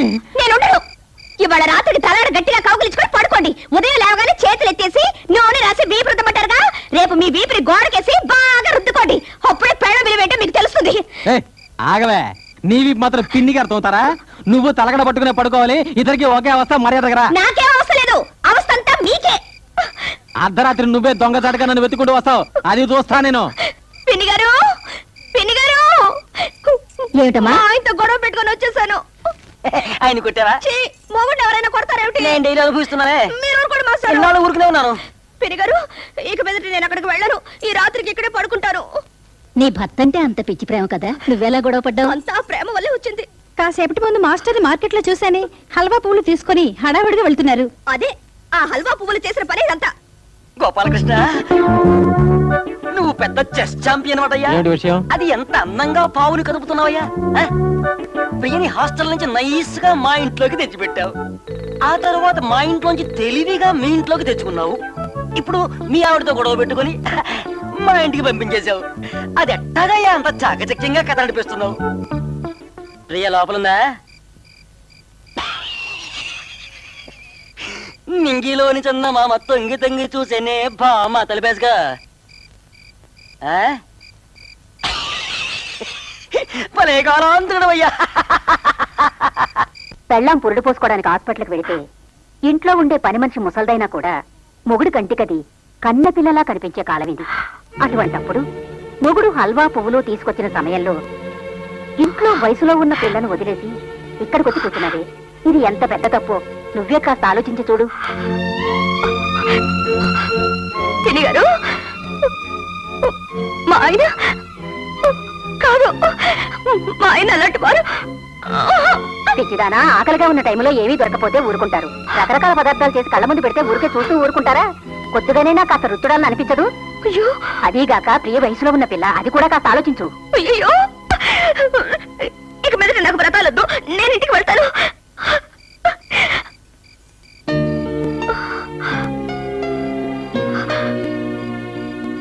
ఏమ్మా ప్రియా ఇక్కడికొచ్చి పడుకున్నావేంటి?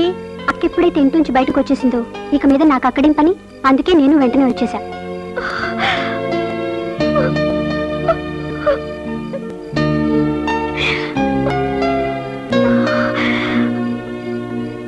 ప్రియా!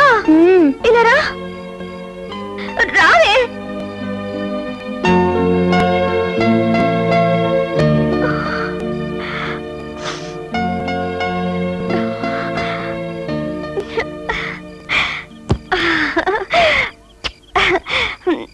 మన ఇంటికి వెళ్దాం.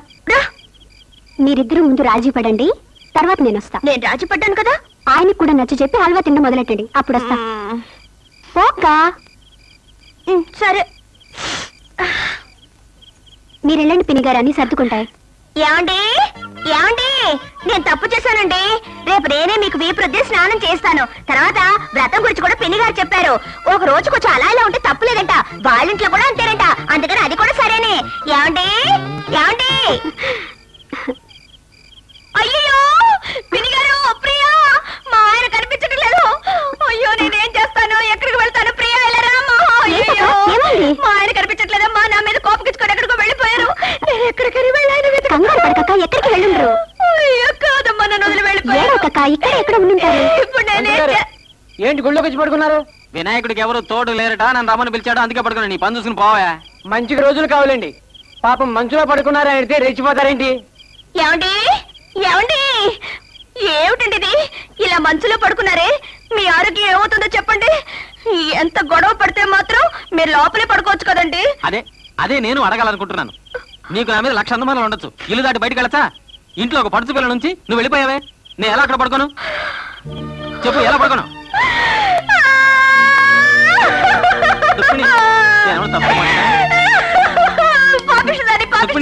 ఏమిటి? చూడండి. ఏంటో రాముడు ఎప్పుడు అంటారు? కానీ ఇప్పుడు నేను కళ్ళారా చూస్తున్నానండి. ఈ ప్రియాల రాలే అరే రాలే అది కూడా మీలాగేనండి. అక్కింట్లో లేనప్పుడు నేను మాత్రం ఎందుకుంటానని మరుక్షణమే పిన్నిగారింటికి వచ్చి పడుకుంది. నా తల్లి దేవుడు లాంటి భర్త బంగారం లాంటి చెల్లెలు.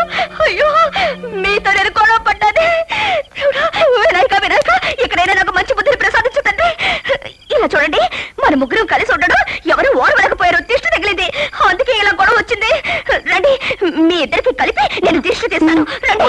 దానికి మాత్రం దిష్టి తీసాలు అయ్యో అదట లేకుండా నేను మాత్రం ఒంటరిగా కూర్చుంటే ఏం బాగుంటుంది? అవును అది చెప్పేది కరెక్ట్. మీరు రండి. రండి. రండి సార్. రండి. కూర్చోండి. ఎవరు? ఏంటండి?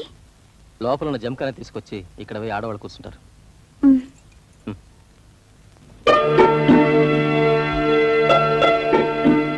రండమ్మా కూర్చోండి. మీరు మాట్లాడుతూ ఉండండి నేను ఇప్పుడే వస్తాను. పద. ఏమిటండి ఇది? చెప్పా పెట్టకుండా మీరు ఇంతమందిని ఇంటికి తీసుకొచ్చారు? ఎవరు వీళ్ళంతా? మీకు తెలిసిన వాళ్ళ? ప్రియ కోసం పెళ్ళి చూపులకు వచ్చారు. ఏమిటి? ప్రియా? అయ్యో! నాకెంత సంతోషంగా ఉందో తెలుసా? ఆ రోజు ఏమిటంటే ఇంట్లో పెట్టుకోవడానికి అంత ఆలోచించారు. ఇప్పుడు చూసారా? మీకు తెలియకుండానే మీ మనసులో ప్రేమ పొంగింది. ఏమండి? కాస్త ముందుగా చెప్పుంటే ఏమైనా పలహారాలు చేసి పెట్టేదానిగా? సర్లేండి ఇప్పటికి ఏం మించిపోలేదు. నేను పక్క కొట్టుకు వెళ్ళి ఏ దొరికితే అది తీసుకొస్తాను. ప్రియా నువ్వు త్వరగా బట్టలు మర్చుకొని రెడీ అవ్వు. నేను చిటికలో వచ్చేస్తాను. కానీ కొంచెం ఉండండి. నాతో ఒక మాటైనా చెప్పకుండా నాకెందుకు ఇప్పుడు పెళ్ళి ఏర్పాటు చేశారు? చూడు ప్రియ నీకంటూ ఎవరున్నారు? మేమిద్దరం తప్ప. నీ మంచి కోసమే ఇలా చేశాను. వెళ్ళి బట్టలు మార్చుకురా. వద్దు. ఈ పెళ్ళికి నేను ఒప్పుకోను. ప్రియా అనవసరంగా మొండికి ఎక్కువ బుద్ధిగా చెప్పినట్టు చెయ్యి మీకు చేతులెత్తి నమస్కరిస్తాను. దయచేసి వాళ్ళని పంపించేయండి. నా మాట వినండి. ఇక మీదట మీ దగ్గర ఏ గొడవ చేయను. నువ్వు గొడవ చేయవు. కానీ ఊళ్ళో వాళ్ళు ఏం చెప్పుకుంటున్నారో తెలుసా? అసలు వినడానికే చాలా అసహ్యంగా ఉంది. రేపు ఈ విషయం రుక్మిణికి తెలిసిందనుకో నిన్ను ఇంట్లోనే ఉండనివ్వదు. మీరేం చెప్పినా సరే ఈ పెళ్ళికి నేను ఒప్పుకోను.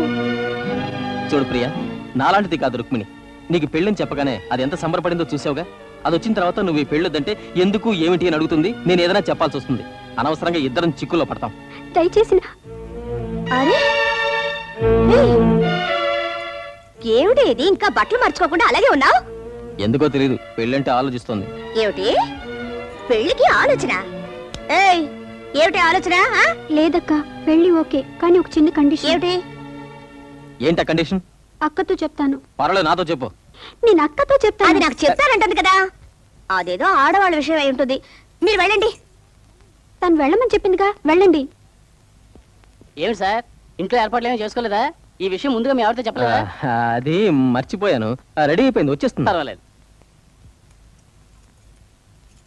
అక్కడ పెట్టు.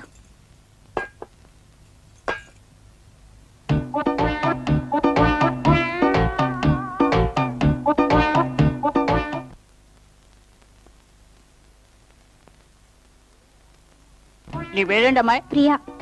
ఏం చదువుకున్నావు ఇంటర్. ఏ అంతకు మించి చదవలేదా? చదువు అప్పలేదా? చదువు బాగానే వచ్చింది. నేనే వద్దనుకున్నాను. సరే వంట విషయం ఏమిటి? చదువులాగా సగం సగమేనా? పర్వాలేదా? బాగా చేస్తాను. ఓకేనన్నా నాకు బాగా నచ్చింది. గారా. అమ్మాయి నాన్న మిగతా విషయాలు మీరు మాట్లాడుకోండి. కొంచెం ఉండండి. మీ అబ్బాయికి మా అమ్మాయి నచ్చింది. కానీ మా అమ్మాయి కూడా మీ అబ్బాయి నచ్చాలి కదా? ఇంతసేపు మీరు ప్రశ్నలు అడిగారు కదా? ఇప్పుడు మా అమ్మాయి అడుగుతుంది. సమాధానం చెప్పండి. ఏయ్ నువ్వు చేసే పనేం బాగాలేదు. పెళ్ళి చూపులకు వచ్చిన అబ్బాయిని అమ్మాయి చేత ప్రశ్నలు వేయించడం అబ్బాయిని అవమానించినట్టు అవుతుంది. బిఏ చదివి నన్ను ఇంటర్ చదివి నువ్వు ఏం అడుగుతావు? ఒక స్త్రీ ఎప్పుడు పరిపూర్ణ స్త్రీ అవుతుంది? ఆ?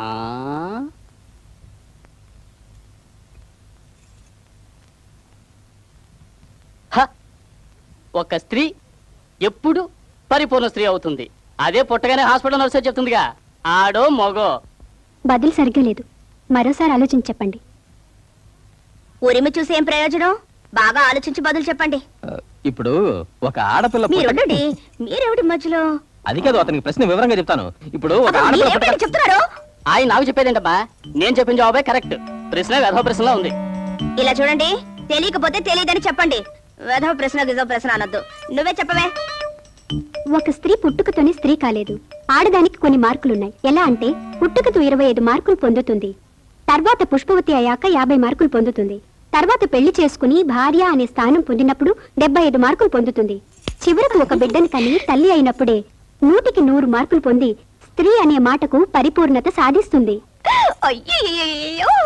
ఏం పెళ్ళి కొడుక బిఏ గీయన్నావు నోట మాట రావడం లేదే. మేము పెళ్ళి కొడుకు తరఫు వాళ్ళం. కొంచెం కూడా మర్యాద లేకుండా మాట్లాడుతున్నారే. అదే కదా ఇప్పుడు మేము వెళ్ళిపోవడానికి ఎంతసేపు పడుతుంది అనుకున్నారు? ఇప్పుడు నేను వెళ్ళమని చెప్పడానికి ఎంతసేపు అవుతుందంటారు సిగ్గు చెట్టు. ఇక్కడ ఒక నిమిషం కూడా ఉండకూడదు. రండి పోదాం. పోండి. పోండి చూడడానికి వచ్చాం. రండి పోదాం. ఏదో మాస్టర్ ఇలే గౌరవస్తులు అనుకున్నాను. ఇంత మర్యాద తక్కువ మనుషులు అనుకోలేదు. ఇదిగో మాస్టర్ గురించి ఏమైనా మాట్లాడావో? మాట్లాడితే ఏం చేస్తావు? ఏం చేస్తానా? మాట్లాడవయ్యా. ఏది మాట్లాడుతుందాం ఎందుకే మారిపోతావు వచ్చి రాకపోతే మైసూరు పాకు కూడా లాగించావు కదా. ఎవరు ఏది ఈ నీకు ఇంకెవరైనా పెళ్ళిస్తారేమో నేను ఇలా చూడు. నీతో చాలా సీరియస్గా మాట్లాడాలి.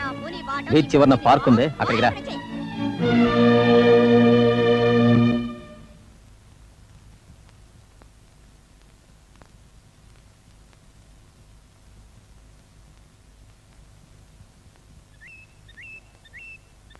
నువ్వు ఆడదానివేగా? ఇంకో ఆడదాని జీవితం పాడు చేయడం తప్పని నీకు అనిపించలా? నా భార్యకి నీ మీద ఎంత నమ్మకం ఉంటే నేను ఇంట్లోకి రాణిస్తుంది. అలాంటి దానికి ద్రోహం చేయడానికి నీకు అసలు మనసులా వచ్చింది? ఏ పాపానికైనా ప్రాయశ్చిత్తం ఉంటుంది. కానీ నువ్వు చేసిన దానికి ఇలా చూడండి. నేను మిమ్మల్ని పెళ్ళి చేసుకోవాలని ఆశపడింది నిజమే. కానీ మీరు ఎప్పుడైతే పెళ్ళి చేసుకొచ్చారో ఆ క్షణం నుంచి నా వల్ల మీ జీవితంలో ఏ ఆటంకాలు రాకూడదని నిర్ణయించుకున్నాను. నోర్మయ్ అటువంటి ఉద్దేశం నీకుంటే ఏడుగురు పెళ్ళాలను చేసుకున్నా ఎనిమిదో పెళ్ళంగా వస్తానని ఎందుకు నాతో శపథం చేశావు? అది నేను ఊరికి తమాషాగా అన్నాను. తమాషా ఏంటి? పెళ్ళైన తర్వాత కూడా ఓ తాళి పట్టుకుని నా చుట్టూతో తిరిగావే. అది తమాషానా? లేక ఆ రోజు విధి నేను ఇంటికి తీసుకొచ్చింది నన్ను మర్చిపోలేను అన్నవే. అది తమాషానా? మీ అమ్మ నాన్న చుట్టాలు పక్కాలు అందరూ చనిపోయారు. ఒక టెలిగ్రామ్ ఇచ్చి ప్లాన్ ప్రకారం నా ఇంట్లో తిష్ట వేశావు. మీరు అన్ని విషయాలు సీరియస్గా తీసుకుంటున్నందువల్ల నేను ఇప్పుడు నిజం చెప్తాను. నా వల్లే కదా మీరు తొందరపడి పెళ్ళి చేసుకున్నారు. మీ భార్యకు వంట రాదు చదువు రాదు అని తెలిసినప్పుడు నా మనసుకి ఎంతో కష్టం కలిగింది. ఆవిడకి అన్నీ నేర్పించి మీకు తగిన భార్యగా ఆవిడని మార్చాలని ఆవిడతో నేను చనువుగా ఉన్నాను. ఏ చాలు చాలు. హల్వా పువ్వులు కూడా వద్దన దాని నువ్వు నువ్వా నాకు తగిన భార్యను తయారు చేసేది? ఏ అంతెందుకు? ఇంతకు ముందు వచ్చాడే ఒక పెళ్ళి కొడుకు అతని ప్రశ్నలు అడిగి ఎందుకు తరిమేశావు? చెప్పు ఎందుకు ప్రశ్నలు అడిగి తరిమేశావు?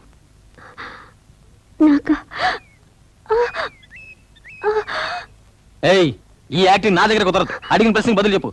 ఎందుకు అతని ప్రశ్న అడిగి తరిమేశావు? నాకు పెళ్ళి ఇష్టం లేదు. నీకు పెళ్ళి ఇష్టం లేక కాదు.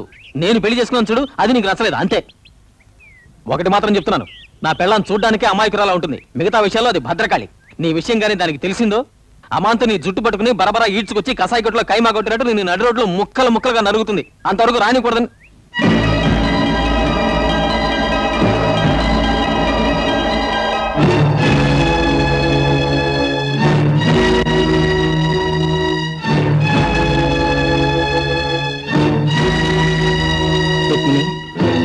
ఇప్పుడేగా? లాస్ట్లో. వెరీ లాస్ట్లో వచ్చి రుక్మిణి దీనికి వయసు వచ్చింది కానీ ఇంకా ఆకతాయితనం పోలేదు. నువ్వు వచ్చే ముందే నాలుగు లెంపకాయలు చాచి చాచి కుట్టాను. నా మాట విను రుక్మిణి. ఇది పార్కు. పది మంది తిరిగే చోటు. ఇక్కడ అనవసరంగా ఏ గొడవ చేకు కాస్త ఓపిక పట్టు. నా మాట విను. ప్లీజ్ ప్లీజ్ వెళ్దాం పదా. రా.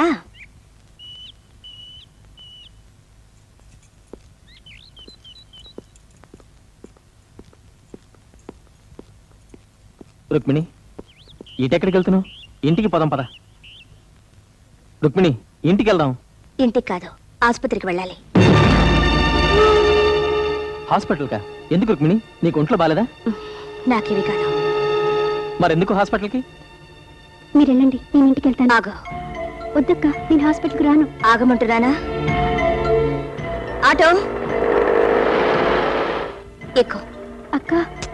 మాట్లాడకుండా ఎక్కువ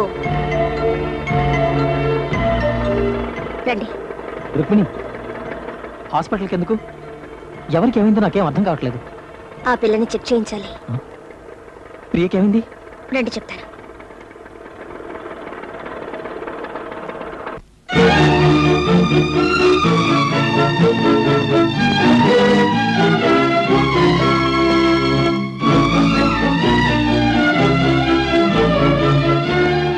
దీనికి వచ్చి చూడండి. నేను డాక్టర్తో మాట్లాడొస్తాను.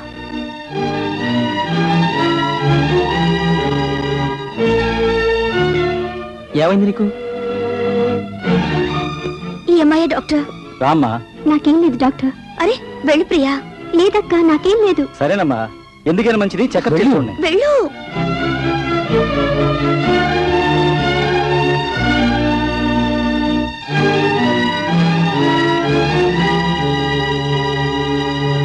ఆ అమ్మాయికి అసలు ఏమైంది? రండి చెప్తాను. చూడండి ఆ పిల్ల ఖర్చు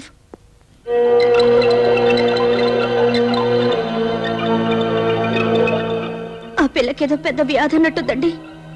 పోయిన వారం దాని ఖర్చు చూశాను. దాన్ని పిలిచి అడిగితే ఏదో మరకై ఉంటుందని మభ్య పెట్టింది. ఇవాళ దాన్ని పెట్టె తెరిచి చూసినప్పుడు ఇలాంటి ఖర్చులు రెండు మూడు కనిపించాయి. అది మాత్రమే కాదండి రెండు మూడు రోజులు బట్టి దాని ప్రవర్తనలో మార్పు కనిపిస్తోంది. నువ్వు మాస్టర్ బాగుండాలక్క.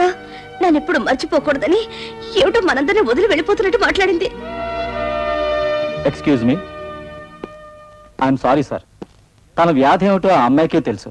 మేము చెకప్ చేసి కన్ఫర్మ్ చేశాం. ఆ అమ్మాయి ఎంతకాలం బతికుండడమే ఆశ్చర్యం.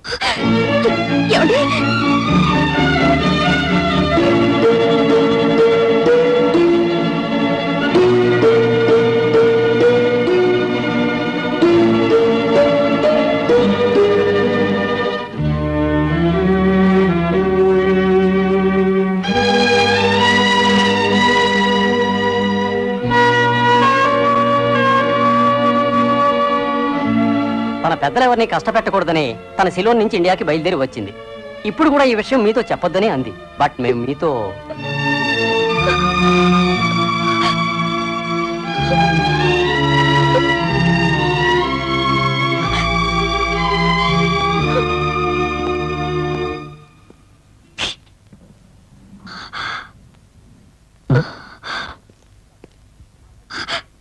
డాక్టర్ ఆ అమ్మాయి తెరపట్టలేదు. మళ్ళీ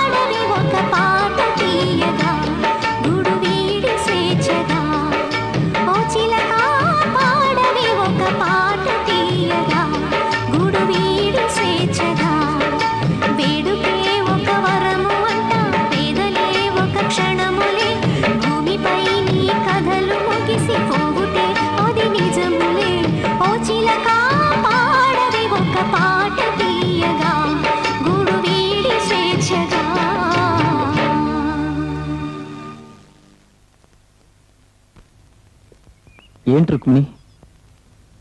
రండి. కొంచెం బజార్ వరకు వెళ్ళొద్దాం. దేనికి? రండి చెప్తాను.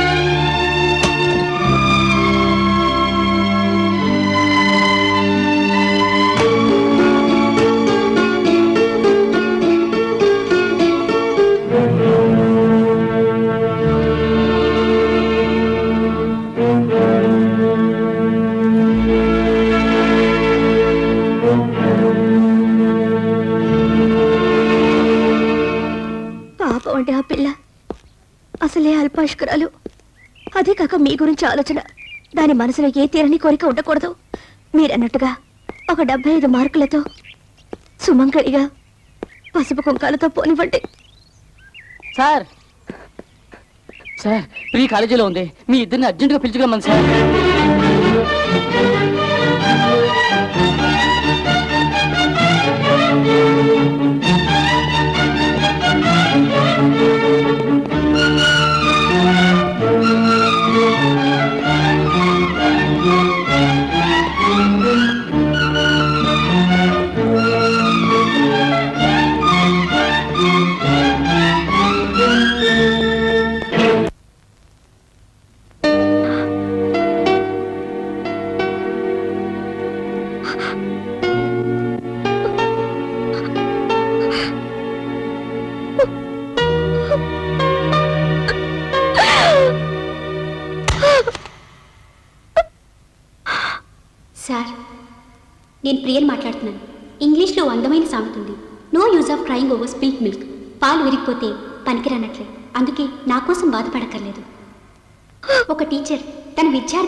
వేరే దృష్టితో చూడకూడదనేదే మీ లక్ష్యం.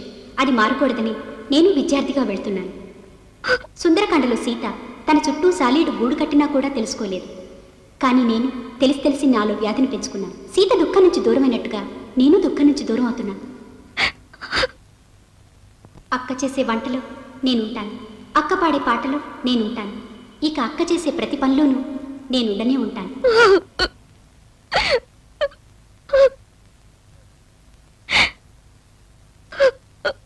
తొందరలో అక్క కడుపున నేనే బిడ్డగా పుడతాను.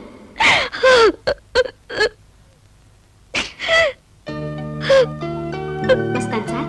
అక్క మై కమింగ్ సూన్ ఓకే?